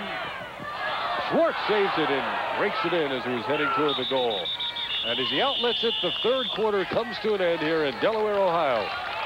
With the score, Hobart 17 and Ohio Wesleyan 3. The Great American Face. Rugged, distinctive, every one an original, deserving of the best. The Great American Razor. Classic, solid, perfectly balanced. It's the Atra system from Gillette. Original Atra pivots for closeness, and Atra Plus adds a white Lubrasmooth strip for extra protection. The Great American Face deserves the Great American Shave. The Atra shaving system, only from Gillette. The essence of shaving. It's a machine committed to total efficiency. A machine that provides clock-like precision. A machine designed for maximum dependability. With the best on-time arrival record. With a commanding 17 to 3 lead over Ohio Wesleyan. They've exerted dominance in every phase of this game right from the get-go. Yes, they surely have. Face-offs, ground balls, shots. They just and they've taken great shots and play with great desire. And right there is not a good example. And then the Ball way very out few. Yeah. turnovers without any pressure by Ohio Wesleyan. This doesn't figure to be a very inspired fourth quarter with a score so much uh, in favor of one team. Toby Boucher has two of the three goals, one in the first, one in the second. Hobart jumped out to a 5-0 lead in the game before Boucher scored, and Hobart answered back nine seconds later to make it six to one. That's how the quarter ended. Boucher scored again to make it six to two, but by the end of the first half it was ten to two, and after three quarters, seventeen to three.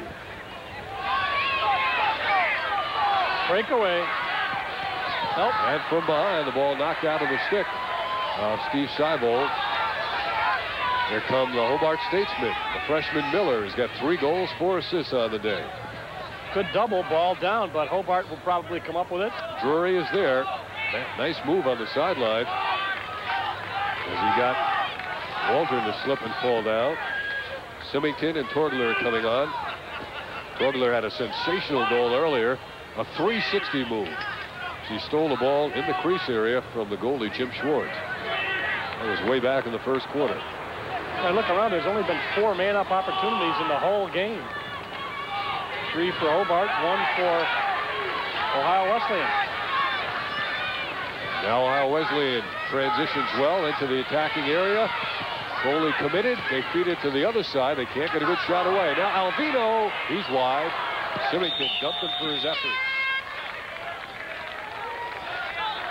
Rob Alvino. They have done a nice job on him. Right now, they've, they've had problems getting the ball to him. Right now, he's being guarded by number 32 for Burchill. Here's a nice spin move and a ah. goal and a gorgeous one-on-one move by Sclafani. Paul Sclafani with the move and he gets the goal. He's a sophomore from Locust Valley, New York on Long Island. Tried to check him, but he just really penetrates. Ball goes in before he's into the crease. That's a good goal. Steve Novak defending against him for Hobart. Face-off time again. They're going facing the wrong way there for a minute. Get them straightened out. That's Odamul. And 26 for the Bishops, Chris Paul. Chris Paul's a freshman from Longmeadow, Massachusetts. Sean Trell from Columbus, Ohio. Up ahead to Todd Udamul. Overshoots his man. Moses gets it in the box. Moses lost his glove. Lost his glove, flipped it in midair. Now he's unpressured, so he's time to put it back on. Udamul racing toward the near sideline against Schluter. Now he gives the ball up to Bardwell, has to save it. Sloppy play both ways now with 11 and a half minutes to go in the game. Here's Ian Smith with a run. Smith to Hannon. Hannon gives it up to Boucher. Boucher dumps it in close. Score! Rob Alvino from Toby Boucher. And for the first time in the afternoon, Ohio Wesleyan has scored back-to-back goals. The leading point maker, goals and assists, Rob Alvino, gets on the scoreboard. It is now 17 to 5. Once more, you're going to look at Bob Alvino right there, the leading point getter, both goals and assists, as you said, Dave, and he gets his first of the day. Symington on the faceoff with Blanchard. Symington still in there, and Torgler picks it up. Hobart is usually answered back quickly in these situations. Schwartz with a good save on Torgler. Now he outlets it. A little bit of momentum shift here. Long way to go. Alvino going left. Alvino uh, held on to it a second too long. Knocked out of there, but Torgler's in pursuit. Will he get there before Ringers? Yes. And Torgler head man's it to Burchell. He got a goal earlier. He gives it up to Moses. In close, Bardwell. Bardwell gets his fourth goal of the game. And that is what Hobart has done all game long, answer back. Yeah, you're right. They've never really been able to get any momentum. They get a score, and then one scored in Symington early in the first half, got the ball and ran right down and got another goal. Set up a goal, I should say. There's the shot. Bardwell low on the offside, or the onside, I should say, of Schwartz. And as we check the Hobart nets, we'll note there is a new man in there as Sean Trell is out of the game as we await the faceoff. Dave Maxwell in the nets.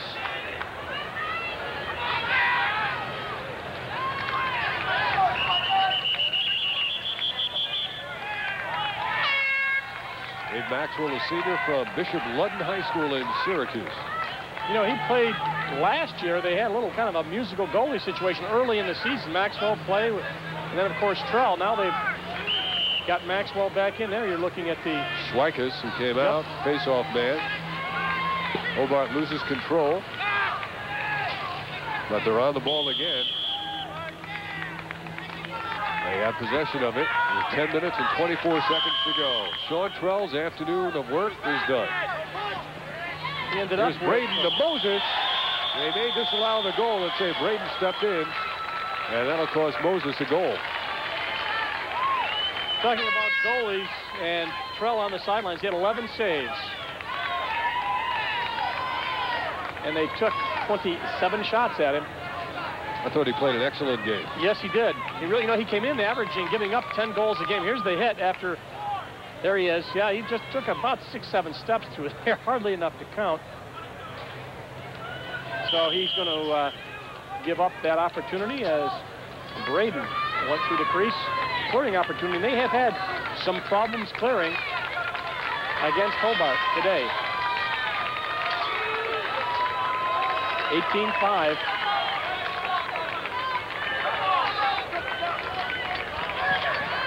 Downfield, markers down. It'll be a slash. Rinaldi was the man who was dumped. Burchell is going to be guilty of a slash, and that'll be the second opportunity, man up, today for the Battling Bishops. Burchell, who scored a goal earlier. There have been many goal scorers today for Hobart College, led by Tom Gravani, who has six. Bardwell has four. Miller has three. Torgler has two. Just talking about clears, just wanted to check. Hobart's 20 of 27, 17 of 31 for Ohio Wesleyan. Boucher with shooting lead. Oh. And he blistered that one by Dave Maxwell. So Boucher comes up with his third goal of the game. Worth another look left-hand shot. He's looking, ball, Alvino feeds. There's that blister shot. Oh, boy. That got there so fast, Maxwell didn't really have time to react. You got to guess when they're that close and shoot that hard, don't you? Yeah, you sure do. Out of Bristol, Rhode Island.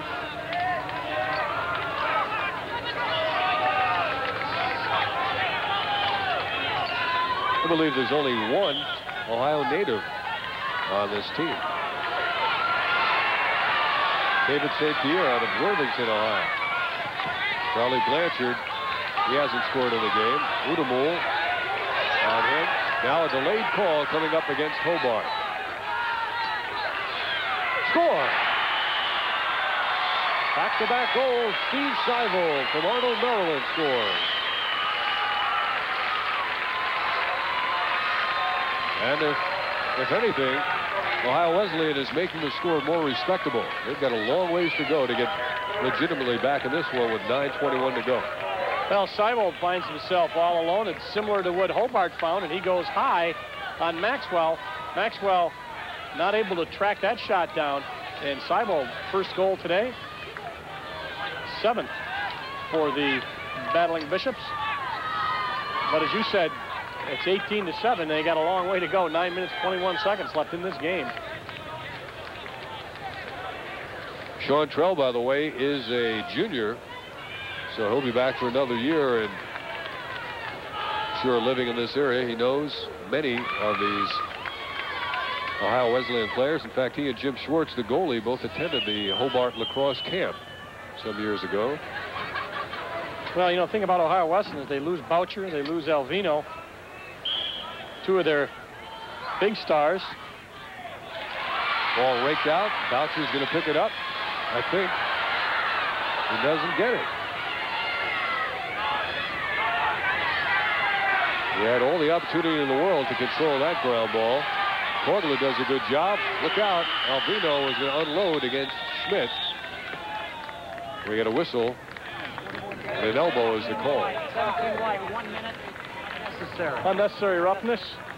One minute da- call. Looking down the roster, Blanchard, of course, also graduates. One of the things that they felt coming into the season is they had some good senior experience coming back. They also lose Schluter. Ground balls over two to one here. Uh, Hobart, part of the story is just the hustle that they got out and they came out smoking in that first quarter. Just took the wind right out of Ohio Wesleyan. Not able to do much after that, and I think they just got on a roll, Dave, and it's been really uh, a great game for Hobart and just not the best game at all for Mike Pressler's team. I don't think they beat them 6-5 during the year. You'd have to say that they certainly can play better lacrosse than they did today. And the big guns are back on now for Hobart. Gravani, Miller. Miller's got it. He loses it. Has it again. Gravani with six goals today. A record 17 in the tournament. Three games. Nazareth, Roanoke, and Ohio Wesleyan. Drury to Gravani. Miller. Bardwell, who's got four. Gravani. Doesn't take very many bad shots, does he? They're going to take some time off the clock, too. There's no sense in, from their point of view, in letting them get back in the game. We'll just take our time down here, take the good shot, and let's show our passing and catching skills. Miller had his pass deflected, broken up, and then he hustled, got the ball back to set up this. And Schwartz has it. Schwartz now overshoots a man, but it's played inside by Sclafani. Gets a step on Sheehan. He feeds to Alvino, and he scores. Rob Alvino gets his second goal. That's three in a row now by Ohio Wesleyan. And here in the fourth quarter, Ohio Wesleyan has outscored Hobart five to one. Gets the ball by. That was Sheehan playing defense, but let's watch Alvino, and there's a, that's what you get for coming down here and scoring on us. That's Arvin Tides, 18. Took him down after the, the goal. But Alvino comes up with his second goal. He is the senior, the quarterback of this lacrosse team. Well, we said, be disappointed. we said this fourth quarter would be an uphill battle for these Bishops. They're doing a good job in this quarter, but now Arvin Tides has it. He eludes one stick check. Feeds the crease nicely. And the bounce shot bounced over the crossbar. Braden thought he had it lined up perfectly. Just bounced it too high. 18 to 8. 7 minutes, 23 seconds remaining. Dave Cohen and Dale Drypolcher with the NCAA Division III National Lacrosse Championship. That's Braden. Good move by Braden to shake free of his man, Goss. Drury snuck in from the back door. He didn't spot him. Now Gravani. Gravani needs two more goals to set a single game record. Matt Torgler. And here's Drury. Into the box with a step on Smith. Sent it to Bardwell who wasn't watching. Braden's closest to it. Sluter knocks it away from him and out. Good job by Sluter. Wearing those football thigh pads. He's got some pants underneath there. Might have a hamstring problem. I'm sure they don't feel it now. I can't get over the fact that both coaches forget predicted, predicted a low-scoring game. Score now is 18-8. We had 26 goals scored. What do they know? That's right. They're only the coaches.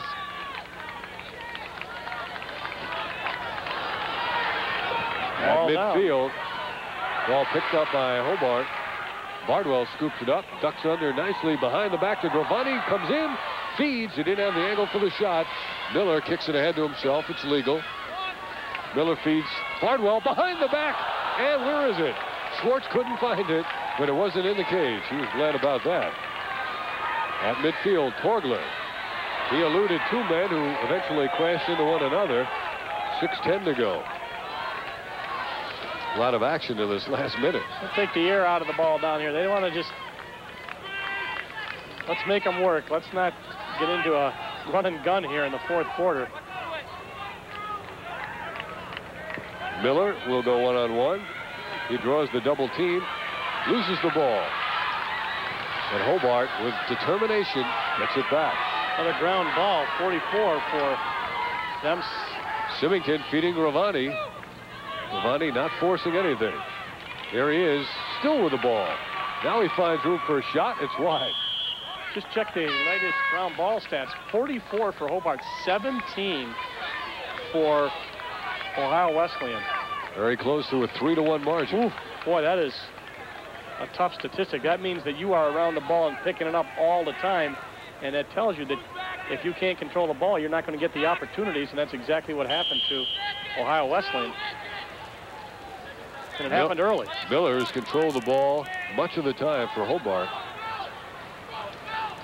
Sending back. In front. You heard the sticks combine. That's knocked out of bounds by Goss. Hobart has it. Five minutes and 18 seconds to go. Araneo is in. It's going to replace Goss.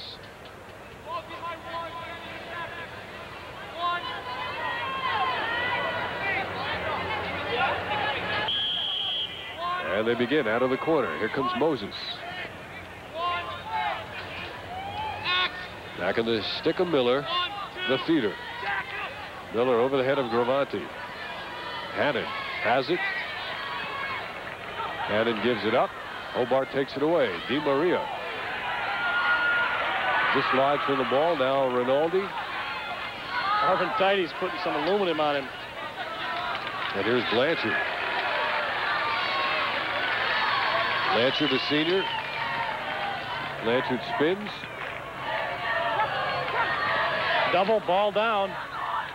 Blanchard like to get in the scoreboard in this game. is final one in Ohio Wesleyan. We're down to four and a half minutes to go. Hobart still moving well. Fediaka. They fed it to Moses, who earlier lost a goal because the man was in the crease. Ball's out of bounds. Well, they know where to look, though, don't they, Dave? They always know, even on the fast break, who's trailing, who's behind me. Let me get the ball out to him. I know where he should be. And they make that nice pass. That one didn't go, but Hobart always looking to feed that guy on the fast break who's trailing, always in good position.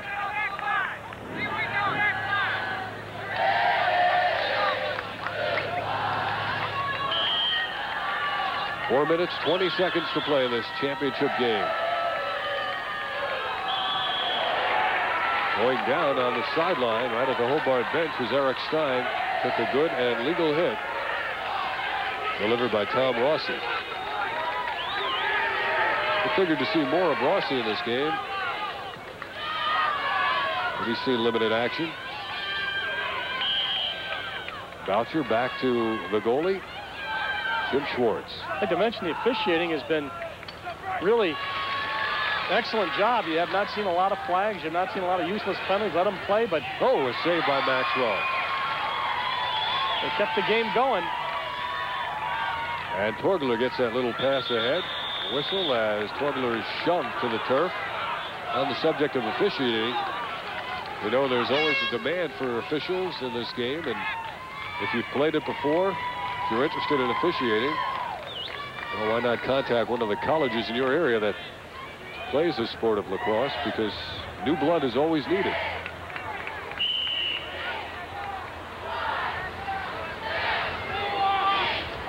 Torgler with the ball. He's going to get it to Gravani.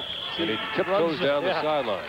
One of the officials today, the umpire Gary Fallon, has interesting background in athletics. From Watertown, New York, I believe played football for Syracuse University. I think he was on the 59 team and down at Washington Lee, football coach. And uh, Mike Pressler knows him. We talked about him before the game with Mike. Schwartz to midfield. And rifle it down to Ringers. Against the retreating Eric Stein. Spin move. He goes down. Fediaka there for the interception. Here comes Frank Fediaka. See the stick, how he caught that ball right in midair and then started right away for the pass. He break. feeds Bardwell. Beautiful movement, and Braden's shot is wide.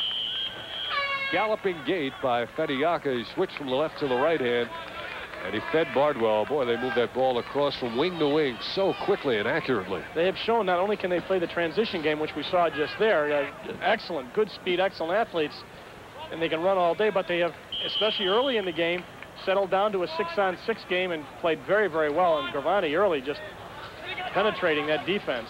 Bardwell tried to sneak it by Schwartz and made the save. Schwartz has come up with some sparkling saves in the game. But the big surprise is the way Hobart dismantled that zone defense of Ohio Wesleyan. Now Hannon, a crowd favorite here in Delaware, Ohio. With 2.52 to go. New faces coming in the game both ways. Dan Cole of Wisconsin, Long Island, a junior in now for Ohio Wesleyan, as is Dave Torgler. And his shot is uh, just wide. Dave Torgler, his brother playing for Hobart, but he is kind of hobbled that knee brace on number four. We'll see him later. You're getting a shot there of goalie Maxwell for Hobart, but moving slowly. Rinaldi makes the move. Rinaldi feeds, shot, score, Alvino. Alvino gets his third goal. They've all been here in the fourth quarter. An All-America a year ago, regarded as the greatest attack man in Ohio Wesleyan history, gets his third goal of the game. It is 18 to 9. Lunged defensively, but Alvino very powerful, got his shot off as Burchell tried to keep him from taking the shot. And this indeed is the highest scoring game in championship history for Division Three. 27 goals. Two years ago, 23 in the game won by Hobart, 13 to 10 against Washington College. A year ago, it was Hobart beating Ohio Wesleyan 9 to 5. Right now, it's 18 to 9 as we're into the final two minutes of the game. They will take now the ball at the midfield line. Hobart, as they have been the beneficiaries of uh, the ball quite a bit. Ground balls, face-offs, all in Hobart's favor. Odemul into the box. Now it's Moses. Back to Odemul. With the ball now is Mulherin, who saw early action in this game. Tried to feed it to Kerwick, who had a goal early. Kerwick rakes it around. He comes up with it, gets out of the crowd. Minute 50 left. Moses to Bardwell, who scored four times. Bardwell makes the move. Schwartz is waiting for him. Down he goes. Well, he just said, I'm not giving another goal. This is ridiculous. And right on his back, but good naturedly because they were kind of patting each other on the back when they got up, taken down by, was it Aranio or Goss? I'm not sure. We'll check. But uh, here's the move as Bardwell comes around. That's Aranio right there, 38, that rap checks his takedown. Two points. And we have a timeout taken by Hobart College with a minute and 44 to go in this championship game. I guess it wasn't so good natured there, Dave. Bardwell got up and threw the ball. At the conclusion of the game, the winning team will be presented with the championship trophy. We'll try to get a word with Dave Urick and also the star of this game, Tom Gravani. Timeout. Give everybody some water and some last minute instructions. Let's kick this game over with 144 left. In Division Three in NCAA lacrosse, the championship game is awarded on a yearly basis based upon the teams that are in the tournament. In Division One, the side of the Final Four, different format used, is selected in advance, certainly at least a year in advance. Syracuse, New York, the uh, hosts of the Final Four Division One during Memorial Day weekend, and that should be a tremendous tournament with games played on Saturday and the championship on Monday. And uh, if you're in the area, if you've got some time to travel and looking for something to do, Memorial Day weekend, that's an excellent choice. The Final Four of college lacrosse, technically the semifinals and the championship game.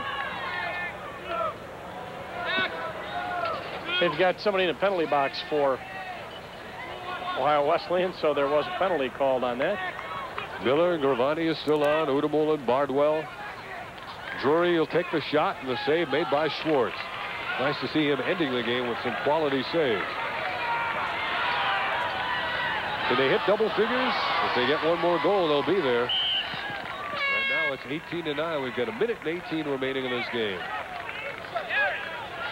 Nice to see, too, that so many of the fans have stayed till the end of this game to award the two teams with their applause. I want to quote the president of Ohio Wesleyan University, David Warren. He says, they play lacrosse and they play it gloriously well, not because they're paid to play, not because they've been gifted with an athletic scholarship, but because they love the game. How true that is. That's true on all levels of lacrosse. Ball down, under a minute. Torgler, well, he's going to get mugged. is very And uh, it was Sheen who came down on top of him. I thought for a moment it might have been his brother. I saw a 7. He wears 47. His brother's coming on now. Matt Torgler's coming on the field. But Dave Torgler's come off. So I don't think we've seen the two on at the same time. We've got 46 seconds to play in the game. Man up opportunity for Ohio Wesleyan. Their third opportunity.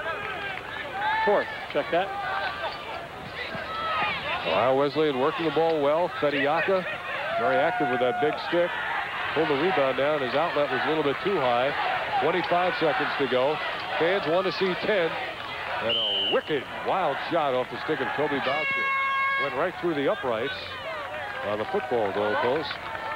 Hobart ball.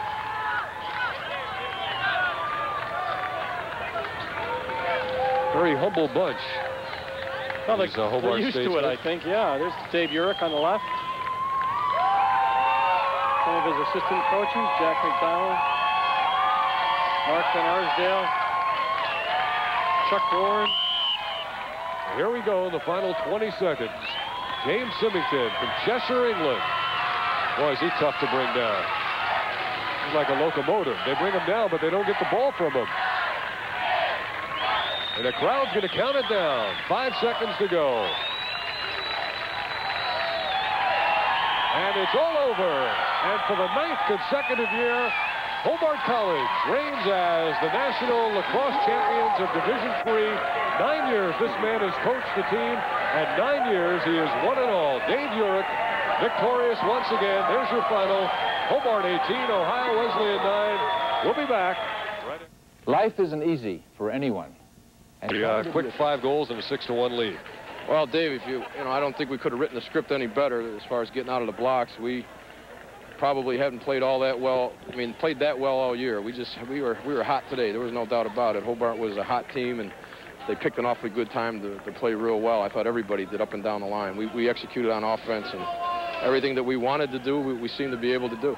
Anything specific, Dave? You know, we talked uh, before the game, and both you guys, uh, you and Mike, said this would be a low-scoring game. 20, 27 goals later. Shows you what we know. right? Yeah, that's what we said. But seriously, what uh, what did you do offensively? It seemed like Gravani was able to penetrate against that zone. He was open quite a bit. Well, I, I think for for probably the first time since we've played them now for the last few years as a staff and uh, myself included, we have a pretty good understanding of what they're trying to do with the zone, and I just thought we had a good scheme to attack it with. uh, I'll be the first one to admit that there's a lot of distractions for the head coach the week of the game. And I told the kids after the game, a lot of the credit for this one's got to go to Mark Van Arsdale. He's an offensive uh, coach. Um, that's the tops in my book. And he did a great job of preparing these kids. We had to make another adjustment at halftime because they adjusted right immediately in the second quarter, as a good team would. And we had to, to attack them a little bit differently, but it seemed like every time we had a crack, we took advantage of it. What was that adjustment at halftime? Uh, just a little subtle difference. They had one guy playing two, and we tried to stretch him a little bit and swing the ball the other way after uh, penetrating a little bit early in the game. You said before the game this was not one of your best defensive teams. You certainly had offensive firepower. We saw it today but the defense played extremely well. They really well, frustrated. Uh, at times this year, we've we've played great defense. You know, it just hasn't been as consistent a defense, I guess, as we'd like. But you know, they've had the ability to play great defense, and today I thought they they, they responded very well and, and took away some of their real good players. But you know, you could see as the game went on, when those good players got a little bit of a breathing room, they can stick it. You know, one of the things we looked at, things like ground balls was just a, a devastating lead in, in favor of Hobart. You guys really hustled today, and I think that really took them out of their game early. You guys were all over the field. Well, I think there's a lot, an awful lot of intensity in, in, the Orange people. You know, these these kids do a great job of getting themselves ready to play. Uh, you cannot really appreciate uh, what that locker room was like before the game or during the week. The the amount of uh, phone calls we get from alumni and from friends and from uh, real Hobart fans that, that that went out of their way to make sure they knew we were with us. Telegrams from Toronto and and you name it. That's that's part of Hobart lacrosse tradition, and I think that's what these kids really savor. And I told them to enjoy this day. You know, regardless of how it went you know, win or lose, I thought these kids did a great job this year, and we won, and, and we're awfully happy. Going for 10? Talking like an alum again. Absolutely. Dave Urick, once again, congratulations. Thank you, fellas, and I really appreciate you coming down. Thank you very much. All right. Nine years in a row, Hobart College, NCAA Division III national champions, winning today by a final score of 18 to 9. And in one more statistical look in face-offs, Hobart won 20 to just six for Ohio Wesleyan. And anytime you talk about possession and controlling the game, that is a key, key statistic. So we hope you enjoyed it today from Delaware, Ohio, as Hobart College wins